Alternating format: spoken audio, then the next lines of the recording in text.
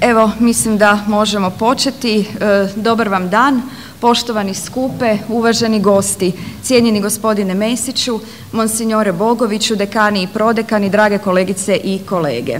Osobita mi je čast što vas mogu pozdraviti u ime organizacijskog odbora skupa o Tridenskoj baštini i katoličkoj konfesionalizaciji u hrvatskim zemljama. Povod za ovaj skup je kao što znate 450. obljetnica završetka Tridenskog koncila. On je zaključen 4. prosinca 1563. i evo mi smo nekako uspjeli naštimati datum da se gotovo u dan poklapa. E, premda je obljetnica sama po sebi e, važna, ideja koja nas je vodila pri pokretanju skupa ipak nije bila tek prigodno obilježavanje. E, kako su reforme koje su pokrenute na tome koncilu obuhvatile ne samo crkvu, nego i političke, socijalne i kulturne strukture i prakse i kako su uvelike oblikovale različite vidove života i u hrvatskim krajevima i to tijekom nekoliko stoljeća, to se tema tridenske baštine nametnula kao iznimno važna, obuhvatna i poticajna za različite discipline i pristupe u želji, ali jednako tako i velikoj potrebi da se ta tema promotri iz različitih očišta, u organizaciju skupa uključeno je čak pet institucija. To su Filozofski fakultet družbe Isusove, Hrvatski institut za povijest, Hrvatski studij, Katolički bogoslovni fakultet i dva odsjeka sa Filozofskog fakulteta u Zagrebu, odsjek za povijest i odsjek za kroatistiku. E, tijekom prethodnih godinu dana, koliko je otprilike trajalo pripremanje ovoga skupa, naša se međuinstitucionalna suradnja pokazala prilično poticajnom i nadamo se da će se to vidjeti i na ovome skupu. Zahvaljujući širokom spektru tema i zavidnom broju sudionika, vjerujemo da će ovaj skup pridonijeti revalorizaciji tridenske baštine kao zamašnjaka modernosti u Hrvatskoj, ali jednako tako da će potaknuti razvoj novih znanstvenih istraživanja koja će hrvatsku tridensku baštinu predstaviti kao kulturno i znanstveno relevantan fenomen i u domaćoj sredini, ali jednako tako i u regionalnom i europskom okviru. I dopustite mi još samo da prenesem pozdrave od predsjednice organizacijskog odbora, kolegice Zrinke Blažević, koja je, nažalost, koja se razboljela, ali koja je zapravo i zaslužna za tu međuinstitucionalnu suradnju, dakle ona je bila e, inicijatorica okupljanja pet različitih e, institucija. Ona nam je svima poželjela uspješan rad. Molila bih sada doktoricu Jasnu Turkalj, ravnateljicu Hrvatskog instituta za povijest, koja nas i danas evo ljubazno ugostila u ovoj prekrasnoj dvorani, da nam se obrati.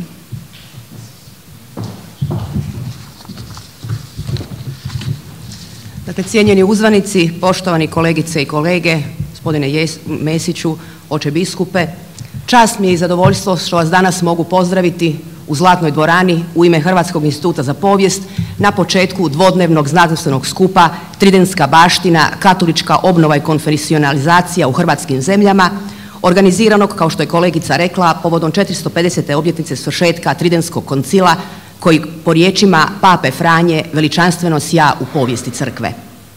Suočen s reformacijom, čije se suzbijanje do tada bilo neujednačeno i svodilo se na reakcije pojedinaca i predstavnika pojedinih društvenih ili crkvenih institucija, Tridentski je koncil svojim zaključcima postavio temelje protureformacijskom djelovanju i unutar crkvenoj obnovi s dalekosežnim posljedicama i na političkom, socijalnom i kulturnom planu u katoličkim zemljama.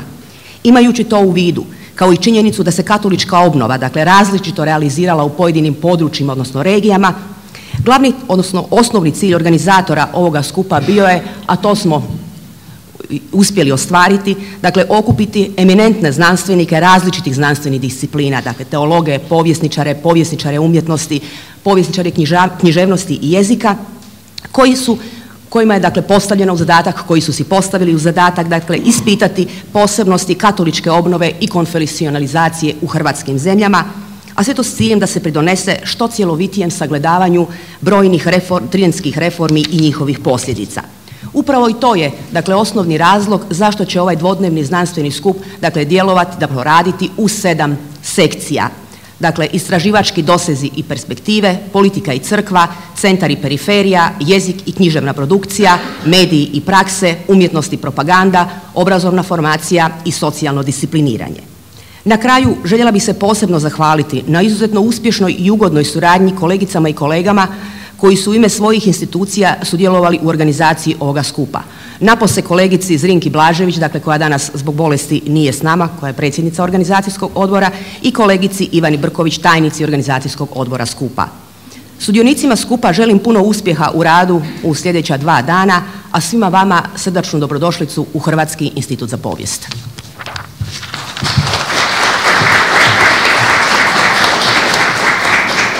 Hvala doktorici Jasni Turkalj. E, molim sada gospodina Jasena Mesića, e, predstavnika e, Saborskog odbora za znanost, obrazovanje i kulturu da nam se obrati.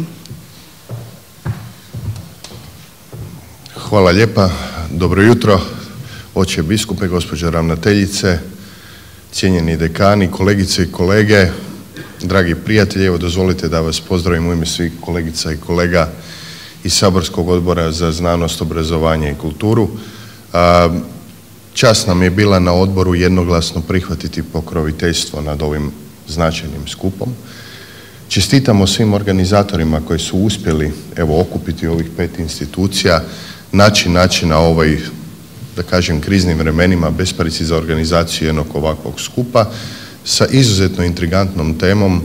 Mogu to i osobno svjedočiti s obzirom da znam koliko će recimo zaključci ovog znanstvenog skupa pomoći jednoj restauratorsko-konzervatorskoj djelatnosti kad bude obnavljala baštinu da vidi na kojim se premisama zapravo je ta, ta baština stvarala.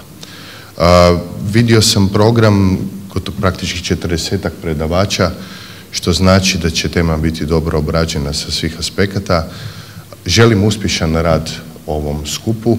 Volio bi, vjerojatno možda to organizatori imaju u planu da se iz toga izrodi jedna publikacija koja bi mogla onda u širem krugu prezentirati evo zaključke i, i, i glavne, e, glavne dosege ovoga, ovoga znanstvenog skupa. Također zahvaljujem institutu evo što je otvorio svoju dvoranu e, za ovu priliku i želim vam svima skupa i u buduće uspješan rad, a s obzirom da se bliže i božićni blagdan, ja ne znam ću imati prilike, svima vama i svima vašima sve najbolje povodom predstojećih božićnih blagdana. Hvala lijepa.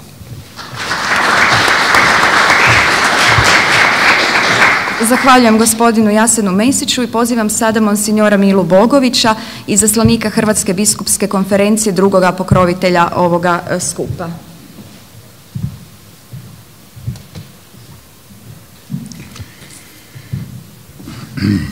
Lijep pozdrav svima. Drago mi je da mogu u ime Hrvatske biskupske konferencije jednog od pokrovitelja kao i ime njezinog predsjednika nadbiskupa Želimira Puljića pozdraviti domaćine, organizatore, predavače ovoga znanstvenog skupa kao i sve ostale sudionike. Tridenski koncil prvi je koncil koji je zahvatio cijelu teologiju, a ne samo neka pitanja kako su to prijašnji koncili radili. On je izvršio ogroman utjecaj na cijeli svijet, pa i onaj koji je nedavno otkriven e, krajem 15. i početkom 16. stoljeća što prijašnji koncili normalno nisu imali pred sobom. Po važnosti u crkvenoj povijesti s njime se može mjeriti samo drugi Vatikanski sabor. Uzan je vezana i žalosna činjenica da je povukao jasnu liniju koja je podijelila zapadno kršćanstvo na katolike i protestante. Kada se čita akte prve postridenske vizitacije Dalmacije 1579. nazire se opseg i dubina obnove koju je pokrenuo na našim prostorima taj koncil. Iz sažetaka izlaganja koja smo dobili Uočava se da je ovaj znanstveni skup povodom 450. obljetnice koncila dobro uočio važnost obnoviteljskih promjena koje je koncil pokrenuo. Kao i u mnogim drugim zemljama i u nas je naj, su najrevniji zagovornici i glasnici tridenske obnove bili Isusovci. Ta obnova nije zahvatila samo pitanja čisto crkvene teorije i prakse, nego čitavo življenje. Napose u katoličkim zemljama gdje je ona prožela sve društvene ustanove od kraljevske palače pa do seoske obitelji. Hrvatska je dijelila sudbinu katoličkih zemalja, pa se i u nas koncil odrazio na sve sfere crkvenog i opće društvenog života. Zato je razumljivo da organizatori ovog znanstvenog skupa nisu samo crkvene ustanove, znanstvene institucije i da na njemu sudjeluju i crkveni i svjetovni povjesničari. U ime Hrvatske biskupske konferencije, kao i u svoje ime, želim skupu uspješan rad i da dade koristan doprinos boljem razumijevanju naše crkvene i nacionalne povijesti kroz protekle 45 godina od zaključka sjednice Tridenskog sabora 1563. pa do danas. Hvala vam lijepa.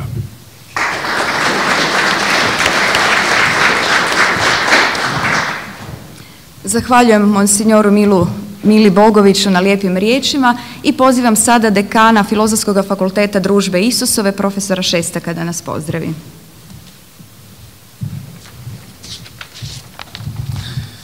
Poštovani, 4. prosinca 1563. dakle prije 450 godina, nakon više prekida završio je 19. po redu ekumenski Tridentski sabor. A budući da se pak o njemu organizira znanstveni skup, to već samo po sebi govori o tome da to nije bio tek jedan u nizu crkvenih koncila, na što u ostalom aludira već i prvo predavanje na ovom simpoziju. Katolička je crkva na tom koncilu u osvit novoga vijeka samu sebe definirala i to tako snažno da je to imalo reperkusije ne samo naravno na unutarnjem doktrinarnom i disciplinarnom planu, nego i na političkom, socijalnom te općenito kulturnom području, baš kao što nam to u ostalom sugeriraju i setovi predavanja ovoga znanstvenog skupa. U intenzivnoj i profesionalnoj pripremi ovoga simpozija sudjelovalo je čak pet naših znanstvenih institucija, pa i Filozofski fakultet družbe Isusove, na kojemu će se u ostalom sutra održati drugi dan predavanja. Možda je to i signifikativno. Naime, družbe Isusove je godine 1540. potvrdio Papa Pavao III, Dakle, onaj poglavar katoličke crkve koji je sazvao i Tridentski koncil. Na tom su saboru sudjelovali i Isusovci, isprva kao formirani svećenici koji će ubrzo, koje će ubrzo periti i biskupi konzultirati. Usput rečeno, njihov im je, njihov im je osnivač Ignacije Lojolski naložio da u slobodno vrijeme između sjednica dvore bolesnike, a oni sami imaju spavati u ubožnicama. I napokon, Znamo da je primjena koncilskih dekreta zbog protivljenja svjetovne vlasti koja je na početku novoga vijeka jačala, išla jako sporo. Tu su primjenu, pored oratorijanaca, snažno promovirali upravo Isusovci. Kao dekan Filozofskog fakulteta družbe Isusove, svim predavačima ovoga skupa želim plodan rad, a slušateljima jedan pravi simposion, to jest istinsku gozbu za znatiželjni duh.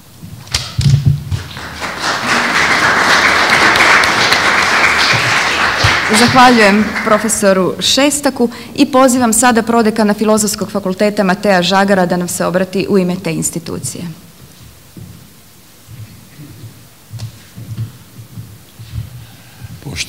Poštovani organizatori, poštovani uzvanici, poštovani sudjenici ove konferencije.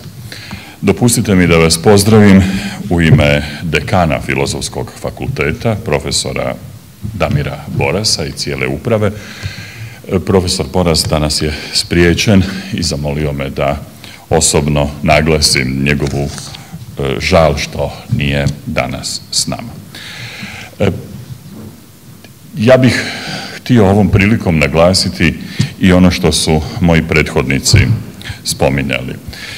Kao član uprave Filozofskog fakulteta vrlo sam sretan i zadovoljan da se u organizaciji ovog skupa okupilo ovoliko institucija i da je mala jezgra organizatora e, upravo predsjednica organizacijskog e, odbora, doktor, doktorica Zrinka Blažević i moja draga kolegica e, Lahorka Plejić-Poje, dakle da su uspjeli od jedne razmjerno skromne ideje kakva je bila na početku uspostaviti ovako ovako i realizirati, kao što vidimo, ovako ambiciozan projekt. Ako smijem malo osobni, osobni ton uključiti, sjećam se naših razgovora, kolegica Plejić Poje i ja smo lani bili u upravi našeg ocijeka za kroatistiku. Počeli smo planirati aktivnosti za ovu godinu i razmišljali smo kakvi bi skupovi došli u obzir. Predložili smo dva, jedan koji će se uskoro održati u Poljskoj, kroatistički skup, pozvao sam kolegicu da sudjeluje u njemu, ona mi je rekla, nažalost neću moći, pripremam jedan drugi skup. Dakle, sama se sjetila ovog e, povoda, rekla je pa nije moguće da, da bi ovaj, ovakav povod e, obljetnice Tridentskog koncila ostao nezabilježen. Dakle, ona je krenula u komunikaciju sa odsjekom za povijest, a mi dobro znamo kako su i na našem velikom fakultetu koji broji više od 800 e, djelatnika, kako su komunikacije zapravo teške i slabe, iako smo, iako smo na jednom prostoru. Međutim, ta prva barijera je bila otklonjena i s vremenom projekt je sve više rastao. Jednom prilikom e, profesorica Plejić Pojem je rekla, pa znaš kako raste naš skup. Bila je vrlo ponosna i ja sam sada sretan da je mogu kao član uprave fakulteta poduprijeti i nju i cijeli organizacijski odbor, zaželjeti svima uspješan rad i jedan veliki zbornik nakon kojega naše viđenje Tridetskog koncila više nikada neće biti kao što je bilo. Hvala vam lijepo.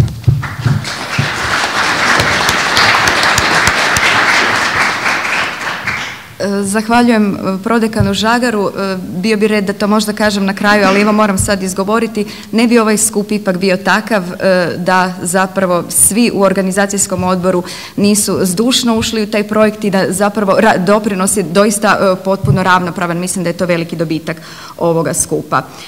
Pozivam sada profesora Darka Viteka s Hrvatskih studija da nas pozdravi u ime toga suorganizatora našeg skupa. Štovani gosti, drage kolegice i kolege, e, iznimno mi je čast što vas mogu svoje osobno i u ime e, profesora doktora Josipa Talange, voditelja Hrvatskih studija, pozdraviti i ispričati ga što je doista iznenadnim obvezama e, spriječen doći na ovaj skup, pa evo, ovako malo i nepripremljen stojim pred vama. Ja ovdje se neću osvrnuti na značaj Trinskog koncila, jer mislim da će izlaganja koja su pred nama vrlo lijepo predočiti u stvari u kojoj mjeri je taj Trinski koncil ostavio traga i u našu sadašnjicu, e, nego ću se osvrnuti upravo na ovaj organizacijski aspekt ovog znanstvenog skupa, e, koji je po nečemu ipak novi u ovoj našoj praksi, znanstvenoj praksi održavanja znanstvenih skupova. Naime, ovoliko institucija involviranih u organizacijenog skupa mislim da još nije bilo, barem e, u ovim humanističkim krugovima i nadam se da će ovo upravo ovakav tip organizacije poslužiti kao nekakav predložak kojim se trebaju rukovoditi i drugi skupovi. Ja se iznimno veselim što ću danas moći čuti znanstvene priloge o temi Trijanskog koncila. Isto tako radujem se i nadam se da ću uskoro i pročitati te priloge u nekakvoj publikaciji. Zahvaljujem se domaćinu Hrvatskom institutu za povijest što nas je udomio u ovim prekrasnim prostorima i svim sudionicima želim uspješan rad i nadam se zanimljive, zanimljiva izlaganja. Hvala vam.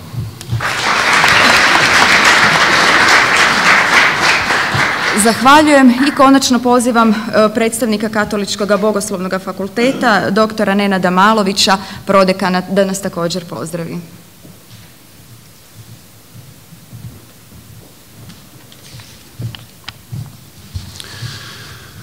Drage dame, poštovana gospodo, uz samorazumljivu čast, iznimno mi je zadovoljstvo što vas smijem pozdraviti u ime Katoličkog bogoslovnog fakulteta Sveučilišta u Zagrebu i njegova dekana Tončija Matulića koji je na moju radost spriječen i nije mogao danas biti ovdje.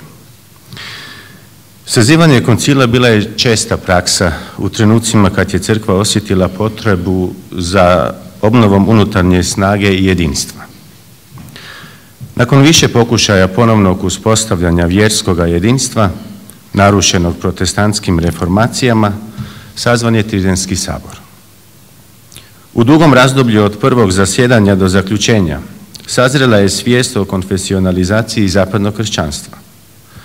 Na saboru je katolička crkva odgovorila religioznim potrebama svojih vjernika, dajući im jasan i siguran nauk, te teologiju koju mu prenosi obnovljeno svećenstvo.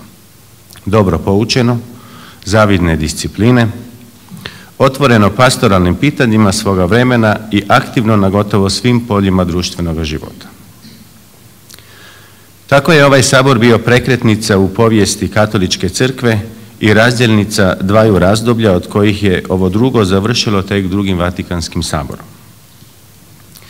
Koliko je ova tema važna i zanimljiva, potvrđuje broj institucija koje su se uključile u organizaciju skupa, kao i zavidan broj eminentnih znanstvenika i istraživača koji će iz sebi vlastitih perspektiva javnosti darovati svjetlo za bolje razumijevanje samoga Tridenskog sabora kao i njegovih posljedica u svim područjima života.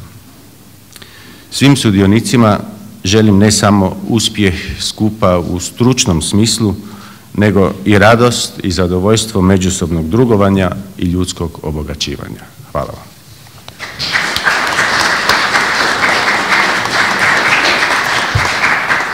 E, hvala prodekanu Maloviću. Evo, dopustite još samo jednu rečenicu. E, ovdje se nekoliko puta spomenulo e, kako kolege su rekli, profesori kako se nadaju da će rezultati ovoga skupa biti objavljeni. Kada sam rekla da želimo da baština Tridenskog koncila postane nekakav znanstveni kapital u regionalnom i e, europskom okružju, zapravo evo najavila bih plan organizatora da se barem dio radova prevede na engleski i da se pošalje prema zapadu zbog toga što kada se piše o Tridenskom koncilu i vjerujem da je tako u svim strukama, stručna literatura ne ide istočnije od Venecije i južnije od Budimpešte. Dakle, e, naša su područja kao što znate e, uglavnom zaobiđena, zanemarena i u drugim temama, tako i u ovoj, a evo zadaća bi ovoga skupa bila između ostaloga i da e, stranoj stručnoj publici prezentira dosege ovoga koncila. Proglasila bih sada skup otvoren zahvalila svima koji su došli ovdje uveličati ovo e, svečano otvaranje.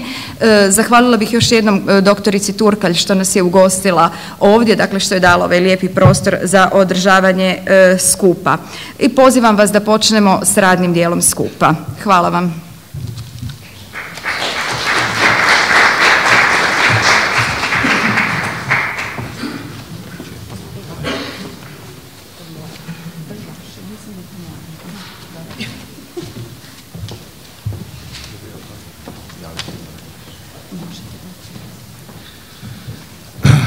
Prvo predavanje je već pomalo uvodno najavljeno, održat će nam magister znanosti Ivica Musa, trenutno ravnatelj Isovačke klasične gimnazije u Osijeku, ali je predavač povijesti kršćanstva na Filozofskom fakultetu Družbe Isusove. Predavanje nosi naslov Trijenski sabor, koncil među koncilima. Izvolite.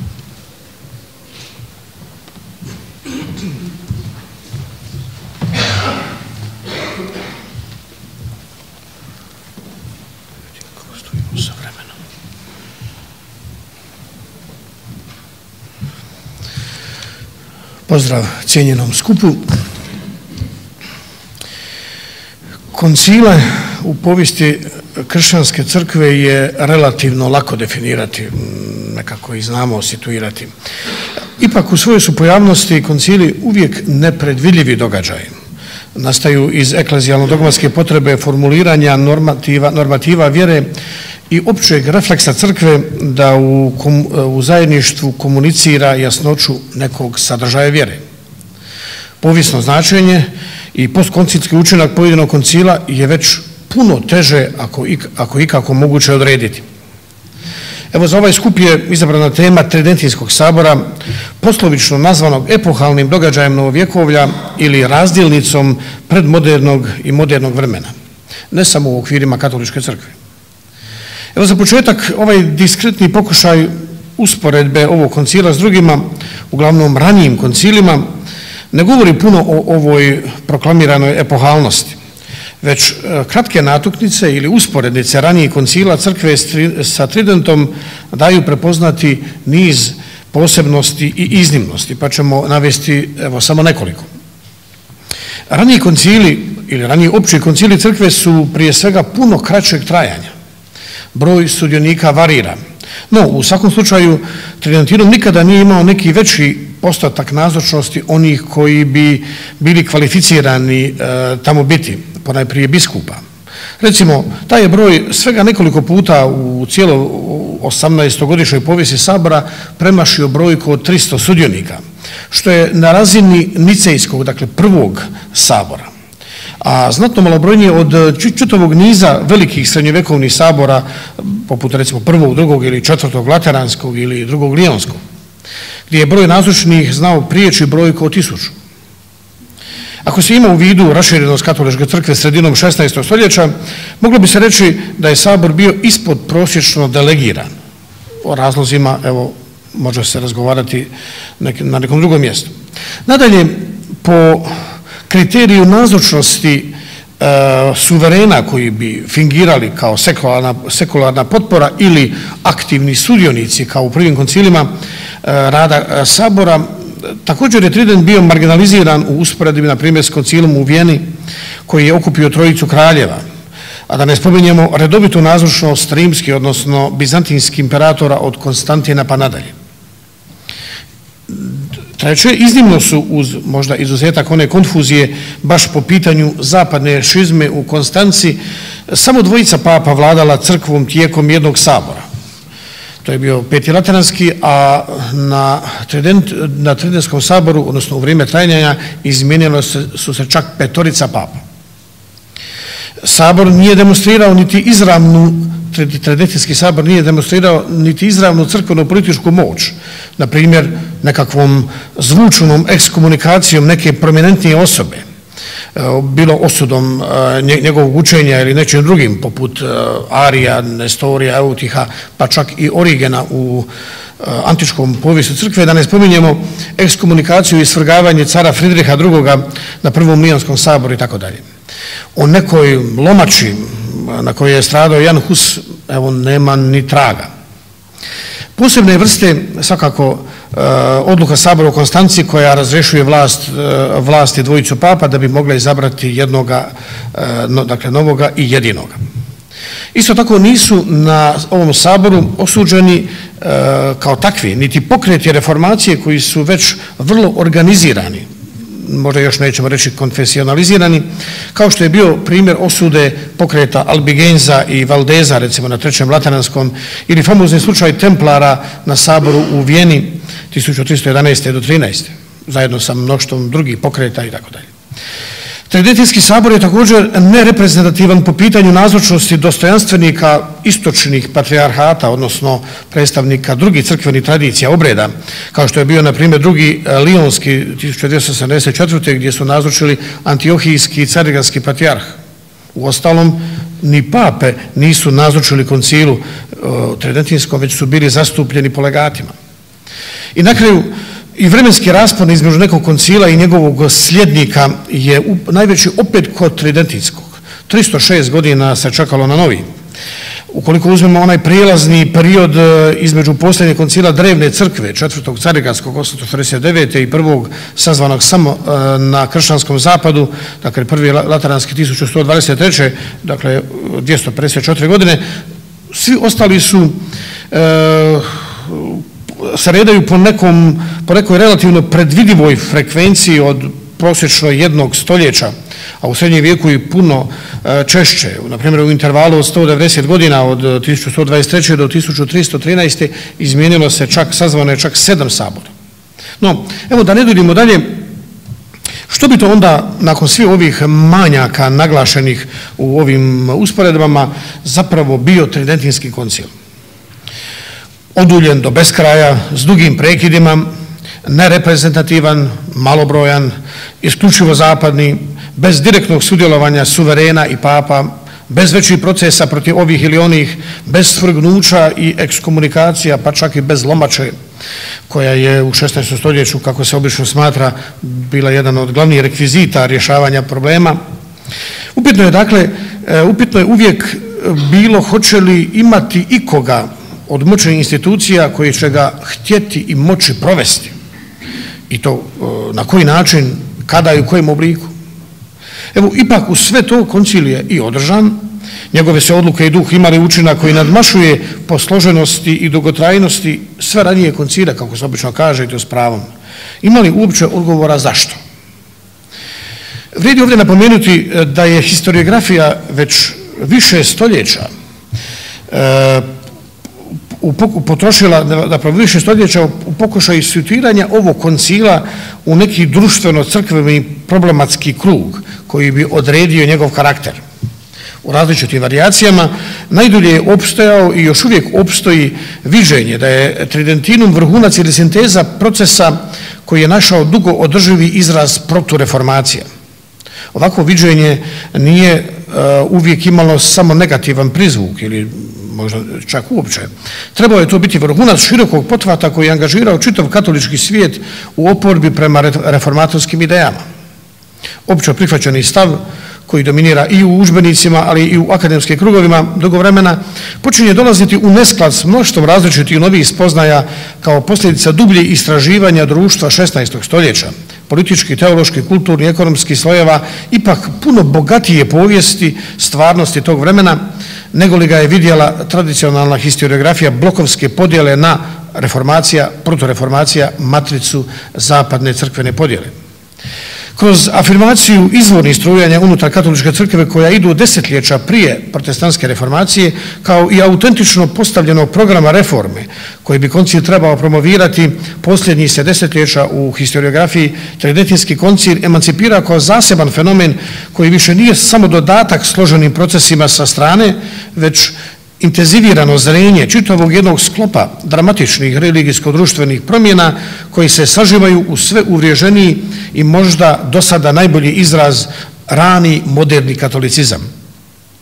Reformatorska gibanja koja će formirati protestantizam kao specifičan način kršćanskog organiziranja i konfesionalne zasebnosti zasigurno nisu jedini izazov s kojima se katolicizam suočio u vremenu nastanka novovjekovlja otkrića novih kontinenta, početci kolonializma, širenje tiska, trgovine, nova umjetnička senzibilnost, tehničke inovacije i tako dalje, formiraju polako novu kulturu koja crkva i potiče i pokušava oblikovati u svojoj, možda malo načetoj, ali tradicionalnoj ulozi duhovnog i intelektualnog arbitra Europe. Sve su to tendencije s kojima se crkva odnosi već prema prilikama, no nikako ne kao pasivni promatrač. Pojava protestantske reformacije zasigurno je intenzivirala pitanja prilagodbe crkve novom vremenu, no nikako nisu apsorbirale svu energiju crkve niti usmjerile sve obnoviteljske linije u pravcu isključive ovisnosti o tom fenomenu. Ipak, zanimljivo je napomenuti da je nekoliko stoljeća u svijesti, a i u akademskim krugovima, pa i katoličkim, dominirala ideja o posvemašnjoj katoličkoj zaokupljenosti protestantskom reformacijom, koja bi odredila sveukupnu djelatnost katoličke crkve većeg dijela 16. i gotovo cijelo 17. stoljeća. Ukratko, na dijelu bi bila svojevrsna strukturalna, institucionalna i pravna, dogmaska i konfesionalna opsjednutost možda prejak izraz, tom prijetnjom, što bi onda omogućilo jednostavno tumačenje svih potvata crkve u pravcu otklanjanja ili umanjivanja te opasnosti. Tridentinski sabor kao potporni stup takve interpretacije stoga i nije pobuživao posebnije zanimanje, posebno ne kao koncil koji bi se mogao mjeriti sa drevnim koncilima crkve po snazi epohalnih odluka i izrazite teološke koncentriranosti. On je bio jednostavno nešto kao krizni stožer sazvan samo da se riješe pitanja opstanka crkve ugrožene novim događanjima i dogovori strategija obrane. Detaljnija analiza vremena dala je obilje materijala koje podržavaju zaključak da se na Tridentu nije obnavljala ili restaurirala nikakva stara katolička crkva. Povijest je ipak nepovratan proces, bez obzira na privlačnost i vezanost uz prošlost. Dapače, desetljeća koja prethode Tridentinumu donose niz promjena koje su nepovratno promijenila crkve, lice srednjevekovne crkve u nešto novo, a Trident je to još samo intenzivirao. Što bi se onda zapravo moglo razaznati kada se podignu ovi slojevi nerazumijevanja izvornosti života crkve 16. stoljeća? Prije svega iznenađuje iznimna ukorijenjenost u svoje vrijeme i njegove probleme – Intenzitet poteškoća jednog takvog prijelomnog vremena ne vodi nužno do zaključka da su poteškoće izazvane isključivo nekompetencijom institucija. Predmoderni svijet bio je u burnom vrenju, pa teza o samo jednom i jedinom izvoru krize, u ovom slučaju rimskoj kuri, je ipak anakrona i nepovjesna, no u konačnici ona ne objašnjava ništa. Prije svega svijet 16. stoljeća je svijet diferenciranja, vrijeme profiliranja moderniteta u svim njegovim vidicima, ulozi pojedinca, značenju političke moći i izazovu pojedinačnog pothvata, doživljaja svijeta kao velike pozornice, mjesta mogućih golemih dobitaka, materijalnih i duhovnih podjednako, vrijeme je to prestrukturiranja države i njenog sve snažnijeg zadiranja u cijelinu ljudskog rada i života. Na globalnom planu to je i vrijeme intenziviranih i mnogostrukih susreta s drugim civilizacijama i religijama, daleko iznad ranijih povremenih i rubnih kontakata koji su katkada bili i isključivo neprijateljski. Evo, ovo izlaganje želi pokazati samo neke elemente posebnosti Tridentijskog sabora u možda dva izdvojena vidika, možda najčešće spominjena. Jedno je dinamika reforme, a drugo je na razini praktične kulture. E, ponajprije u relaciji e, prema izazovu reformacije. Zamišljen u klasičnoj postavci kao instrument gušenja reformacijskog pokreta, njegovo reformatorsko, odnosno obnoviteljsko djelovanje je, djeluje možda neobično čuti, dulje i intenzivnije nego li u jednoj tradiciji protestantske reformacije. Države koje su pomagale protestantsku reformaciju su vrlo brzo uspostavili dosta jako ili čak potpunu državnu kontrolu nad dinamikom reformacije, te se poslije Vestfalskog mira teško može govoriti o postojanju onog duha ili zanosa reformacije koja se opravdavala sama sobom unutar već formiranih nekatoličkih konfesija. Čak i dovršetak vjerskih ratova u Francuskoj i Nanski edikt predstavljaju jasnu granicu reformatorskog potvata hugenetskog pokreta i na vratini praktične kulture. Praktična kultura reformacije je dugo ostala u procijepu između ikonoklastičkih zanosa i tradicionalističkog, možda da ga tako nazovemo, predrenesansnog ukusa, naglašavajući isključivu svetopisamsku kulturu riječi. Barok će kasnije naći put ulaska i u protestantske zemlje, ostajući ipak uvoz koji svojim koncepcijama i specifičnom ikonografijom nije mogao postati izraz reformacijske kulture. S druge strane, niz odluka ili bolje, bolje rečeno duh tridenta koje po sebi kao što znamo nisu stvorile u užem smislu, u direktnijem smislu barokni stil, potvrdile su specifično katoličko svačanje univerzalnosti utjelovljenja što umjetničkoj formi daje ideju navještanja, nagovora o lijepom kao pratitelju istinitog i dobrog, Ovaj kontinuitet umjetničkog stvaranja od srednjih vijeka na ovamo, sadržan kako u teologiji, tako i u praktičnom odabiru novih umjetničkih mogućnosti, nije slučajnost, već izraz kontinuiteta u teološkoj antropologiji koja će harmonizirati logos svetog pisma s licem prolaznog svijeta. I umjesto zaključka, Utjecaj koncila na striktno crkveno disciplinsko području je naglašenije crkveno nego li ikada do sada ili do tada. Mjere osmišljene ili propisane koncilom nemaju istu dinamiku provedbe. Neke su neke od najtipičnijih i najprepoznatljivijih mjera svoje najveće učinke imaju tek stoljeće poslije završetka koncila, pa možda i kasnije. Možda je najbolji primjer Francuska, gdje usprkos galikalističkim tendencijama, jansenizmu i unutarnjim previranjima, upravo druga polovica 17. stoljeća registrira mnoštvo elemenata primjene e, duha i, e, rekli bismo, slova Trineskog sabora. Nadalje, Trinitski sabor po svojim naznakama dijeli prepoznatljivost ostali ranije koncila, ali se i oštro razlikuje od njih po društvenom i kulturalnom kontekstu njegova odvijanja. Njegova neposredna priprema je dramatičnija i eksplicitno više politička u najširem smislu te riječi nego li kod jednog koncila do tog vremena. Njegovo je trajanje dulje, manje svečano u manifestaciji, intenzivnije u ukupnosti učinaka. I evo, završna riječ, Tridentinski koncil je ipak daleko nadmašio sve učinke dosadašnjih koncila. Na mjesto pojedinačnih definicija ranijih koncila stavlja sveobuhvatnost katoličke sinteze. Umjesto izazovnog insistiranja na sloganu, pojedinom sloganu koji može mobilizirati, daje teološku sadržajnost, promišljenu i iskoristivu za nadgradnju bilo koje praktične teologije, ali i dovoljno fleksibilnu za moguću primjenu u promenjenim okolnostima i vremenima.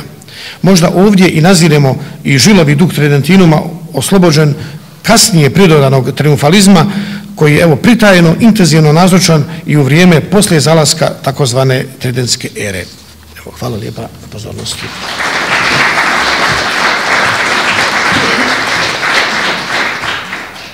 Dakle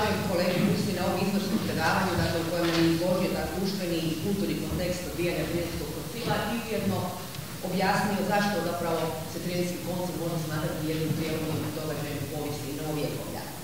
Ovo je bio izvrstan uvod u našu dakle, prvu sekciju pod naslovom istraživački dosezi i perspektive koja zapravo želi preispitati što se do sada napravilo znači na znanstvenom polju po pitanju istraživanja trijenskog koncila, ali isto tako i dati smjernice za buduća istraživanja. Sljedeći izlagač, odnosno izlagačica, e, doktorica je trebala biti doktorica Sanja Cvetnić, e, redovita profesorica na odsjeku za povijest umjetnosti Filozofskog fakulteta u Zagrebu, sa svojim izlaganjem vizualna egzegeza filozofskog nauka o najsvetijim sakramentima pokajanja i posljednje pomasti. Kolegica, nažalost, iz objektivnih razloga danas nije mogla biti s nama, no međutim, ona je svoje predavanje priredila i zamolila je kolegicu Ljevu Dulić da ga pročita.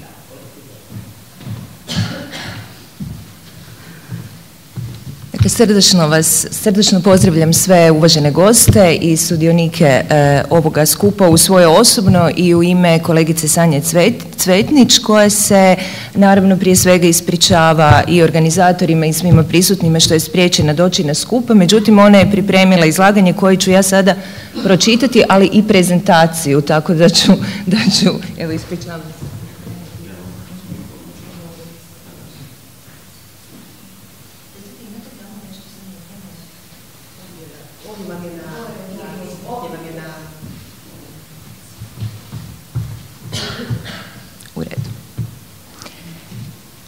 Dakle, e, e, rasprava Martina Lutera o moći i djelotvornosti oproštajnica ili indulgencija iz 1517. godine, a posebno druga i 35. teza, te 25. članak Augsburške vjeroispovijesti, Confessio Augustana iz 1530. oštro su odbili sakrament pokajanja, odnosno svete ispovjedi, prema nauku Rimske crkve. Rasprava o sakramentu dugo je izazivala smutnju koju još prepoznajemo u studiji Ispovjedi pokora u staro doba iz 1928. godine Isusovca Emila Špringera koji nastavlja žustru prepirku četiri stoljeća poslije. Citat. Danas još samo neke neznalice protestanti i nekoji liberalni katolici vele da je ispovjed uveo Papa Inocent III. godine 1215. i to na četvrtom Lateranskom saboru. To je uistinu bila besramna laž da već to što i skizmatici imaju ispovjed pokazuje dovoljno da je ona bila prije Focija koji je umro oko 891. Kraj citata. U iznimno važnom drugom razdoblju, neposredno nakon ključne tridenske odluke o presvetom sakramentu Euharistije, na prvoj sljedećoj sjednici, točnije 25. studenoga 1551.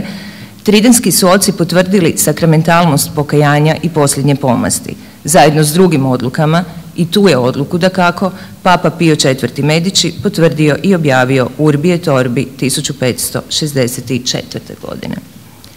Na teološkoj i dogmatskoj osnovi tridenske odluke razvili su potom teolozi i liturgičari pastoralna pomagala za biskupe i druge svećenike koji su trebali provoditi ili nadgledati provođenje tridenskog nauka i discipline. Sveti Karlo Boromejski pridonio je liturgijskoj revoluciji sakramenta pokajanja naglaskom na osobnoj i tajnoj ispovjedi koju je osigurao i novi liturgijski namještaj, ispovjedaonica, a njegova iznimno uspješna Regula Aurea Confessariorum tiskana je dugo i na različitim mjestima, čak u Ljubljani 1721. i u Zagrebu 1722. S druge strane, sveti Robert Bellarmino, slavni teolog pape Klementa VIII. Aldobrandinija, u priručniku De Arte Bene Moriendi iz 1620. danas bismo to zvali priručnikom za samopomoć, na tragu tridenske odluke uputio je vjernike kako se u sakramentu pomirenja valja duboko i iskreno pokajati, u cijelosti ispovijediti sve grijehe i pružiti zadovoljštinu za oprost. Belarminova uspješnica tek je jedna u nizu srodnih poslije tridinskih izdanja o načinu za dobrov mriti, kako je svoj prijevod jedne od njih naslovio rapski biskup Petar Radovčić 1657. U rekatoliziranoj Slavoniji Franjevac Ivan Velikanović podučavao je vjernike o istome kratkim načinom za ispovid dobro pripraviti se 1779. No i njemu je, kao i drugim pastirima, upomoć pritekla likovna umjetnost. Slijedeći svoj liturgijski i pastoralni zadatak, kako ga je odredio bolonski kardinal Gabriele Paleotti 1582. Sjediniti ljude s Bogom istinski je i glavni cilj koji se zahtjeva od tih slika. Francuski ikonograf Emile Mal 1932. započeo je veliku studiju o poslijetridenskoj ikonografiji s tezom da je ona ista u cijeloj katoličkoj Europi, što možemo potvrditi u Hrvatskoj, gdje doista nalazimo ona ista ikonografska rješenja koja je on istakao istražujući talijansku, francusku, španjolsku, flamansku likovnu baštinu. Primjerice, Naglasak na dubokom kajanju likovno tumači prikaz suze Svetoga Petra ili pokajanje Svetoga Petra, kad kada tek kroz ikonografski motiv pjetla koji ga prati u posljetridenskoj ikonografiji i kroz ikonografiju tijela, klečeći položaj i skrušeno sklopljene ruke apostolskog prvaka. Mal naglašava važnost kajanja i oprosta za novi katolički identitet. Citata. Učvrstilo se vjerovanje da je Sveti Petar cijeli život oplakivao svoj grijeh i da je imao oči crvene od plaća, te da se noću ustajao kada bi čuo pjevca i plakao. Prvi papa dao je što više primjer kajanja i poučio kršćane onome što ih određuje. Ma što na to rekao Kalvin? Oni su mogli sagriješiti i imali su pravo i potrebu da im bude oprošteno. Kraj citata. Biblijska pokajnica Sveta Magdalena, kao i srednjovjekovna Sveta Margareta Kortonska, kralj David koji oplakuje svoje grijehe, sve su to pokajnici koji poput vjerskih pedagoga poučavaju što znači duboko kajanje kroz cijeli život. Uzor ispovjednicima je sveti Ivan Nepomuk, osobiti branitelj sakramenta ispovjedi. Njegovo širenje na Habsburgskim posjedima u 18. stoljeću možemo promatrati i kroz prizmu političkih utjecaja. No prije svega češki je svetac, zaštitnik ispovjednika i mučenik ispovjedne tajne jer je zbog nje bačen s Karlova mosta u Vltavu.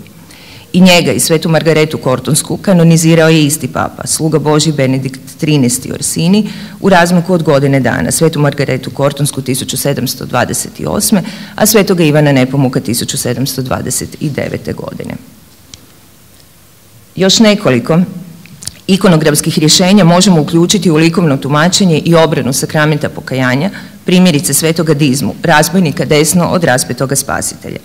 Na upisnici u Varaždinsku bratovštinu muke i smrti Isusove dizma izgovara memento, u prijevodu spomeni se, sjeti se. Isusovo obećanje neba dobrome razbojniku kada ga je zamolio Isuse sjeti me se kada dođeš u kraljevstvo svoje, kako navodi Lukino evanđelje, svjedoči o moći pokajanja čak i kod nekrštenih. Isus Krist kao dobri pastir, sveci milosrđa i dobročinstava poput svete Elizabete Ugarske ili prikaz duše u čistilištu raširen na antependijima također podupiru nauku spasenju kroz sakramente, a ne kako to protiču, promiču protestantski teolozi samom vjerom, sola fides. Briga za spas duše u posljednjoj smrtnoj borbi izražena je i kroz porast čašćenja svetoga Josipa, sveca koji je zajedno sa svetim Mihovilom Arkanđelom i svetom Barbarom postao omiljeni posrednik komu su se vjernici utjecali kako bi u vječnost krenuli opremljeni sakramentima ispovjedi, pričesti i posljednje pomasti. Mučeništvo Svete Barbare, smrt Svetoga Josipa i Sveti Mihovil kao pobjednik, pobjednik nad Sotonom i vagatelj duša ubrajaju se među najčešće prizore poslije tridenske ikonografije. Neposredno po završetku Tridenskog sabora objavljene su odluke 1564 ali tijek rasprave u kojoj su sudjelovali biskupi s pravom glasa i teolozi bez mogućnosti glasovanja dugo nije bio poznat. Stavovi sudionika o najsvetijim sakramentima pokajanja i posljednje pomasti i o protestantskom opravdanju po vjeri tek su se mogli očitati kao odraz u vrlo čvrstoj tridenskoj obrani sakramenata i njegovu ugledu. Pitanje ispovjedi i ikonografske teme vezane za nju postale su jednom od središnjih tema u kojoj se tridenska ikonografija globalno, pa tako i u Hrvatskoj, odlučila za vrlo srodne prizore. Zanimljiva je međutim činjenica da je 1874. godine njemački teolog, oratorijanac Augustin Tajner, sumišljenik i suradnik biskupa Josipa Jurija Štrosmera, objavio upravo u Zagrebu akta genuine santissimi ekumenici konciliji tridentini, što ih je prikupio i priredio kao upravitelj tajnog Vatikanskog arhiva.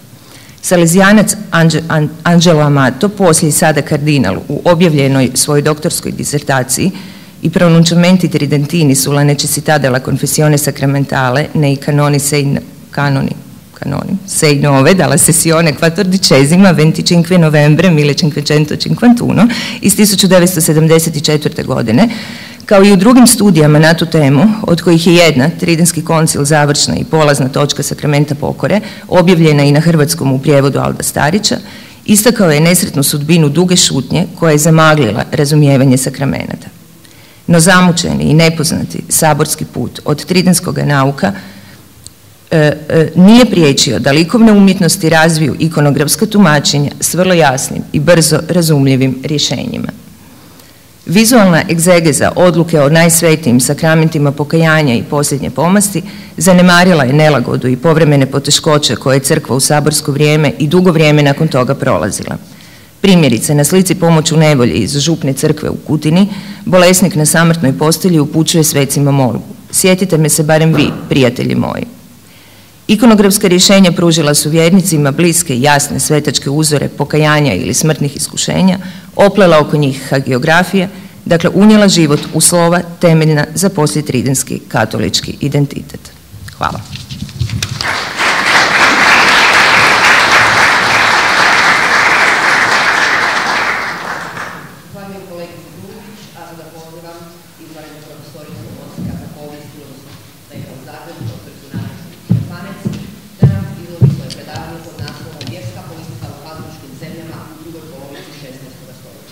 Hvala lijepo. E, poštovane dame i gospodo, kolegice i kolege, meni je u zadatak dopalo predstaviti osnovne okosnice vjerske politike Habsburgovaca u regiji u razmatranome razdoblju i reperkusije osnovne koje je taj, ta politika imala na ovaj naš prostor.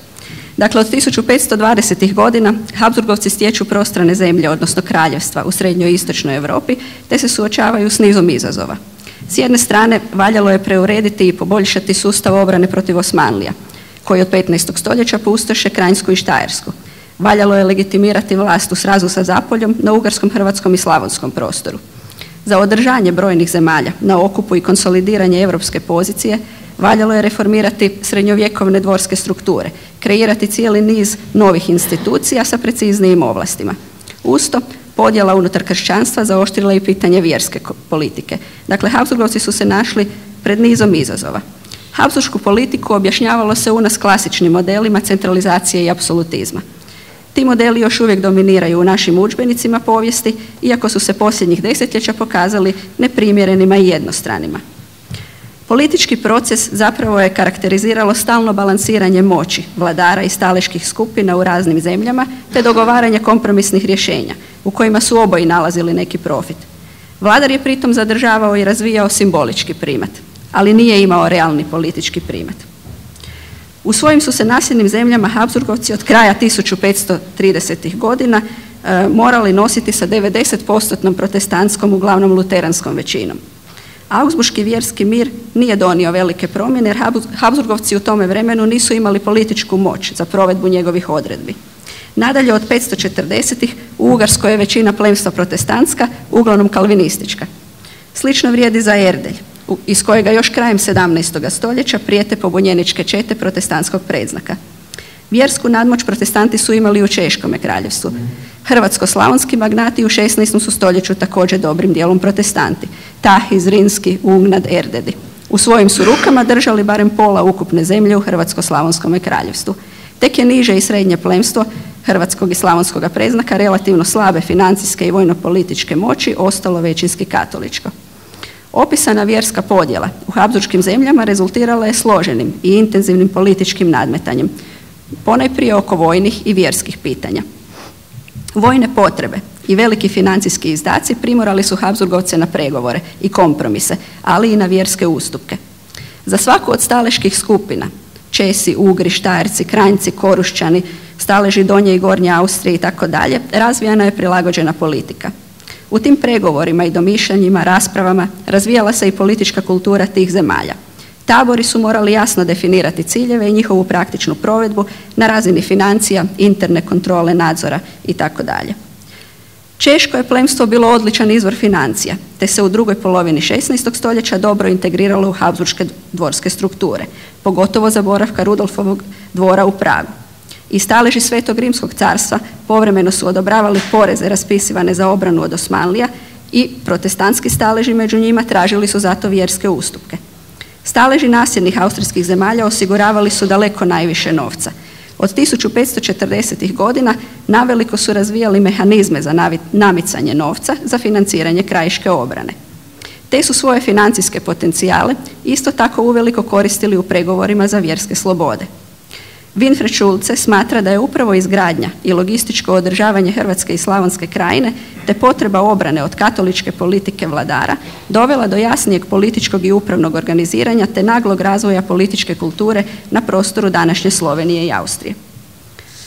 Što se tiče Hrvatsko-Slavonskog kraljevstva, ono je ulagalo ipak neznatna sredstva u dvorsku komorsku blagajnu. Za razliku od staleža Ugarskog kraljevstva koji pokrivaju golemih više od trećine novca potrebnih za obranu zemlje, hrvatski se unos u centralnu blagajnu mjeri, mjeri u promilima. Plemići su novac čuvali za individualnu obranu svojih posjeda i utvrda i nisu željeli ulagati u centralnu blagajnu. Zbog individualizacije plemičke obrane, Sabor i Ban nisu raspolagali s dovoljno novca za važnije političke pregovore u srazu sa Habsburgovcima. Negdje od 1570-ih možemo konstatirati da više nisu smatrani važnim strateškim partnerom u obrani protiv Osmanlija, a s vremenom su izgubili nadzor i nad većim dijelom krajiškog teritorija. Iako su vjerski ostali većinski lojalni katoličkoj politici, taj element nisu koristili za političko pregovaranje. Nadvojvoda Karlo Habsburški prvu je vjersku pacifikaciju u korist protestanata odobrio 1572. godine. Tada je već bio oženio Mariju Bavarsku, nakon što ga je odbila engleska kraljica Elizabeta I. E, Marija Bavarska je bila kćer katoličanstvu odanog bavarskog vojvode Albrehta. Pacifikacija potpisana 1572. naišla je na zgražanje Rima i katoličkog svijeta te većine Habsburgovaca. Karlo je ispao popustljiv. Car Maksimilijan II. mu je kao bratu progledao kroz prste jer je sam bio sklon protestantima. Ipak, odmah te 1572. Isusovci su pozvani u tada izrazito protestantski grac kao protuteža Karlovu potezu. Otvoren im je širok prostor za djelovanje. S druge strane, osokoljeni pacifikacijom, štajerski i krajinski protestantski staleži bili su još spremniji na štednju, čak ukidanje luksuza, pooštravanje poreznog sustava i nove izdatke za vojnu krajinu.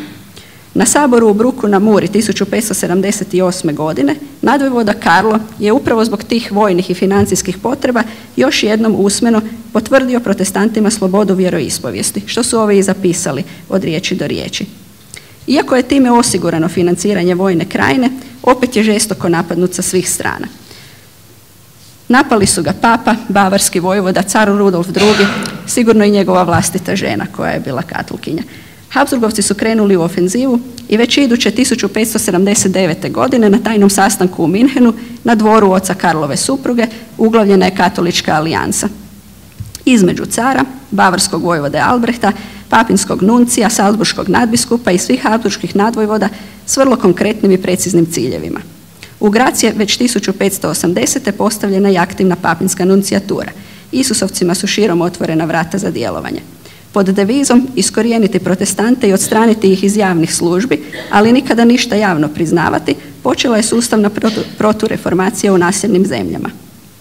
Protestantsko-katolički sukob ipak se posebno zaoštrio tek nakon Karlove smrti 1590. godine, jer je Karlo ipak cijeloga života, budući da je usko surađivao sa protestantskim staležima, bio sklon popuštati im. Nakon 1590. ni financiranje krajine više nije bilo toliko upitno. Tako da je 1596. austrijski nadvojvoda postao Karlov sin Ferdinand, budući car Ferdinand II. Odgojili su ga Isusovci u Gracu, školovao se na sveučilištu u Ingolštadu koje je bilo posvećeno propagandi kršćanske vjere. U svojoj prvoj velikoj akciji od 1598. do 1600. reformatorska povjerenstva praćena Habsburgovcima lojalnim dijelom vojnih snaga krenula su u akciju konverzije. U slučaju potrebe bila im je odobrena i upotreba sile. Cilj je bio fizički onesposobiti protestantske crkve i groblja za upotrebu, oni koji ne bi prisegli na vjernost nadvojvodi i obećali obraćenje, imali su mogućnost otići u egzil. Uspjesi te prve jake faze dijelom su poništeni snažnom podrškom protestanata iz raznih plemičkih slojeva Ugarske u vidu tada dosta vojno uspješnog ustanka Ivana Bočkaja. O uvjetima mira pregovarao je brat cara Rudolfa nadvojvoda Matija.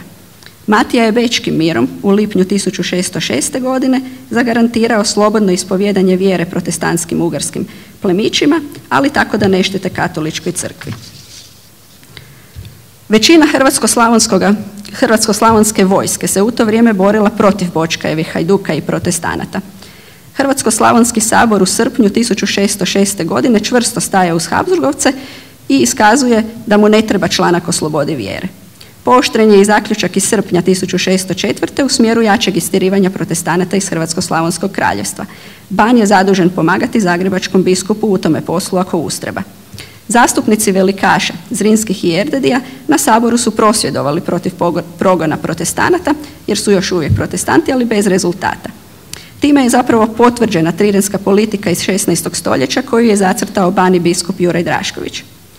Hrvatsko-slavonski staleži pokazali su se besprijekornima u trajnoj podršci katoličkoj struji. Ipak mora se konstatirati da tadašnje političke elite kraljevstva svoju prokatoličku vjersku politiku nisu kapitalizirale u političkom smislu kao što su to na primjer radile protestantske skupine. Bez obzira na povremene gravamine, bezuvjetna podrška Habsburgovcima u pitanjima visoke regionalne politike ostala je njihova trajna politička strategija. Jedan, jedna od potvrda je i izglasavanje pragmatičke sankcije u 18. stoljeću. Habsburgovcima se time otvarao sve veći prostor za nametanje vlastitih političkih rješenja u Hrvatsko-slavonskome kraljevstvu.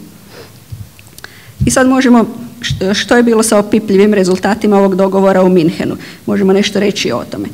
Znači, od 1579. godine počela je ta više manje sustavna smjena e, protestantskih plemića, protestantskih službenika katoličkim službenicima. Karin McHardy naglašava da se od 1580. do 1620. broj gospode visokog plemstva u Donjoj Austriji udvostručio, uglavnom zbog stvaranja i promoviranja novog katoličkog plemstva. E, u razdoblju od 1580. do 1620. godine još uvijek se osjeća da ima manje, da, je ukupno bilo e, znači više protestanata od katolika, ali protestantski su plemići zadržali sličnu količinu posjeda kao 1580-ih, dok se broj posjeda katoličkog plemstva više nego udvostručio do 1620-ih u odnosu na 1580. McHardy je taj proces nazvala konfesionalizacijom društvenog raslojavanja. Te su tendencije zamjećivali i suvremenici. Promjena klime dovela je do toga da su se od 620. velikaši Hrvatsko-Slavonskog i Ugarskog kraljevstva počeli vraćati katoličanstvu, neki i rapidno napredovati, kao na primjer Esterhazi. Zrinski su bili malo složeniji slučaj, kao katolici, ipak su zadržali otvoren odnos prema protestantima s kojima su se i dalje rodbinski povezivali, rakoci, tökelji i politički djelovali. Što se tiče Hrvatske i Slavonske vojne, krajine, koju u 16. stoljeću kontroliraju austrijski protestantski staleži, veće su promjene ipak vidljive tek od prijelaza stoljeća. Primjerice, na Slavonskoj krajini još 1580. na vojnoj krajini imamo evangeličke propovjednike. E, tako je slično i 1590. godina, ali onda od 17. stoljeća počinje se bilježiti promjena jer u popisima vojnih struktura imamo uglavnom katoličke kapelane i svećenike tako da ih imamo uglavnom detaljno popisane, nekad i poimenice. Stacionirani su u štabovima nadkapetanija i uglavnom je štabu Varaždinskog ili Križevačkog generalata. Mijenjaju se e, s vremenom i glavni zapovjednici krajina, s time da se e, katoličanstvu vjerni e, vjerni plemići iz unutrašnje austrijskih zemalja postavljaju na te pozicije umjesto protestantskih plemića. Finalna faza obračuna s protestantima krenula je nakon što je Ferdinand postao ugarski kralj 618. i car 619. godine. Češko je plemstvo uništeno vojnom akcijom 620. 626. započeta je aktivna politička protureformacija u Austriji. 1628. donio je reformacions mandat kojim je preostalom protestantskom plemstvu u austrijskim zemljama naredio iseljenje ili konvertiranje. Većina je mirno napustila zemlju. Ferdinand je na kraju donio edikt o restituciji dobara katoličkoj crkvi u cijelome carstvu, čime je postavljen temelj za katoličku prevlast. I na kraju mogu samo reći nekoliko riječi o problemu pravoslavnog stanovništva na ovome prostoru. Zaključno, dakle od 1590. do 610. Habsburgovci su na krajini poticali intenzivno naseljavanje uglavnom pravoslavnih vlaha, nastojeći smanjiti troškove obrane. Od 1590. car, odnosno kralj, se izbjegavao izravno očitovati na proteste i adrese sabora oko vjerskog i socijalnog statusa novodošlih vlaha. Odgovornost oko naseljavanja javno je prebacivao na austrijske vojvode, nadvojvode, svoje stričeve i braću i na austrijske zapovjednike na krajini. Kad je Hrvatsko-slavonski sabor 629. donio takozvani Vlaški zakon i tražio konačno podređivanje svih doseljenih vlaha sabora, saboru i institucijama kraljevstva, Ferdinand je isprva obećao potvrdu, ipak kad se 629. riješio protestanata u Austriji, postupio je suprotno očekivanju po svome i 630. potpisao statuta Valahorum, te vlasima zagarantirao upravnu i pravnu autonomiju, procijenio je da veće pobune u Hrvatsko-slavonskom kraljevstvu neće biti. Dobar dio velikaša smiren je time što su im vraćeni dijelovi posjeda na koje su aspirirali vlasi. Što se tiče katoličke crkve, ona je imala velike dobitke i nakon, nakon restitucije katoličkih um, imanja u široj regiji. I zapravo postavlja se pitanje koliko je uopće politički bilo bitno pravoslavno pitanje. Pravoslavno vlaško stanovništvo, tada financijski i politički dosta slabo, za svoju se političku ucjenu u pregovorima i osiguranje autonomije koristilo pozivanjem na svoju vojnu važnost, a ne na svoju vjersku orijentaciju. Oni su se uglavnom deklarirali kao kršćani, te nisu predstavljali opasnost u vjersko-političkom smislu. Sa statutima krajina je postala bitno jeftinija, a u novoj fazi 30-godišnjeg rata obilno se koristilo i vlahe Varaždinskog generalata i Hrvatsko-slavonsku vojsku. Pravoslavno stanovništvo na vojnoj krajini Habsburgovci su tretirali i dalje relativno tolerantno. hvala lijepo.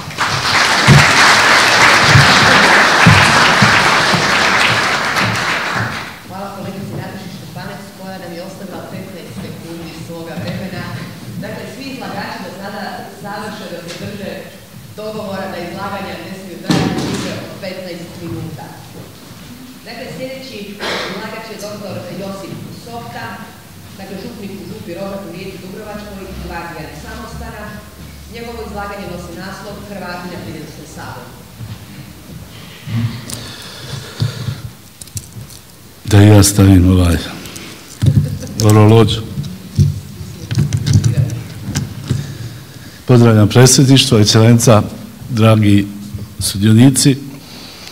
Započet ću ovo svoje razmišljanje jednim prisjećanjem kao odgovorom zašto evo nisam moju radnju koja nosi naslov Hrvati na Tridenskom saboru još preveo, a davno je objavljena. Naime, u dogovoru sa ravnateljem kršćanske sadašnjosti nezaboravni Josipom Tučinovićem bio sam 1990.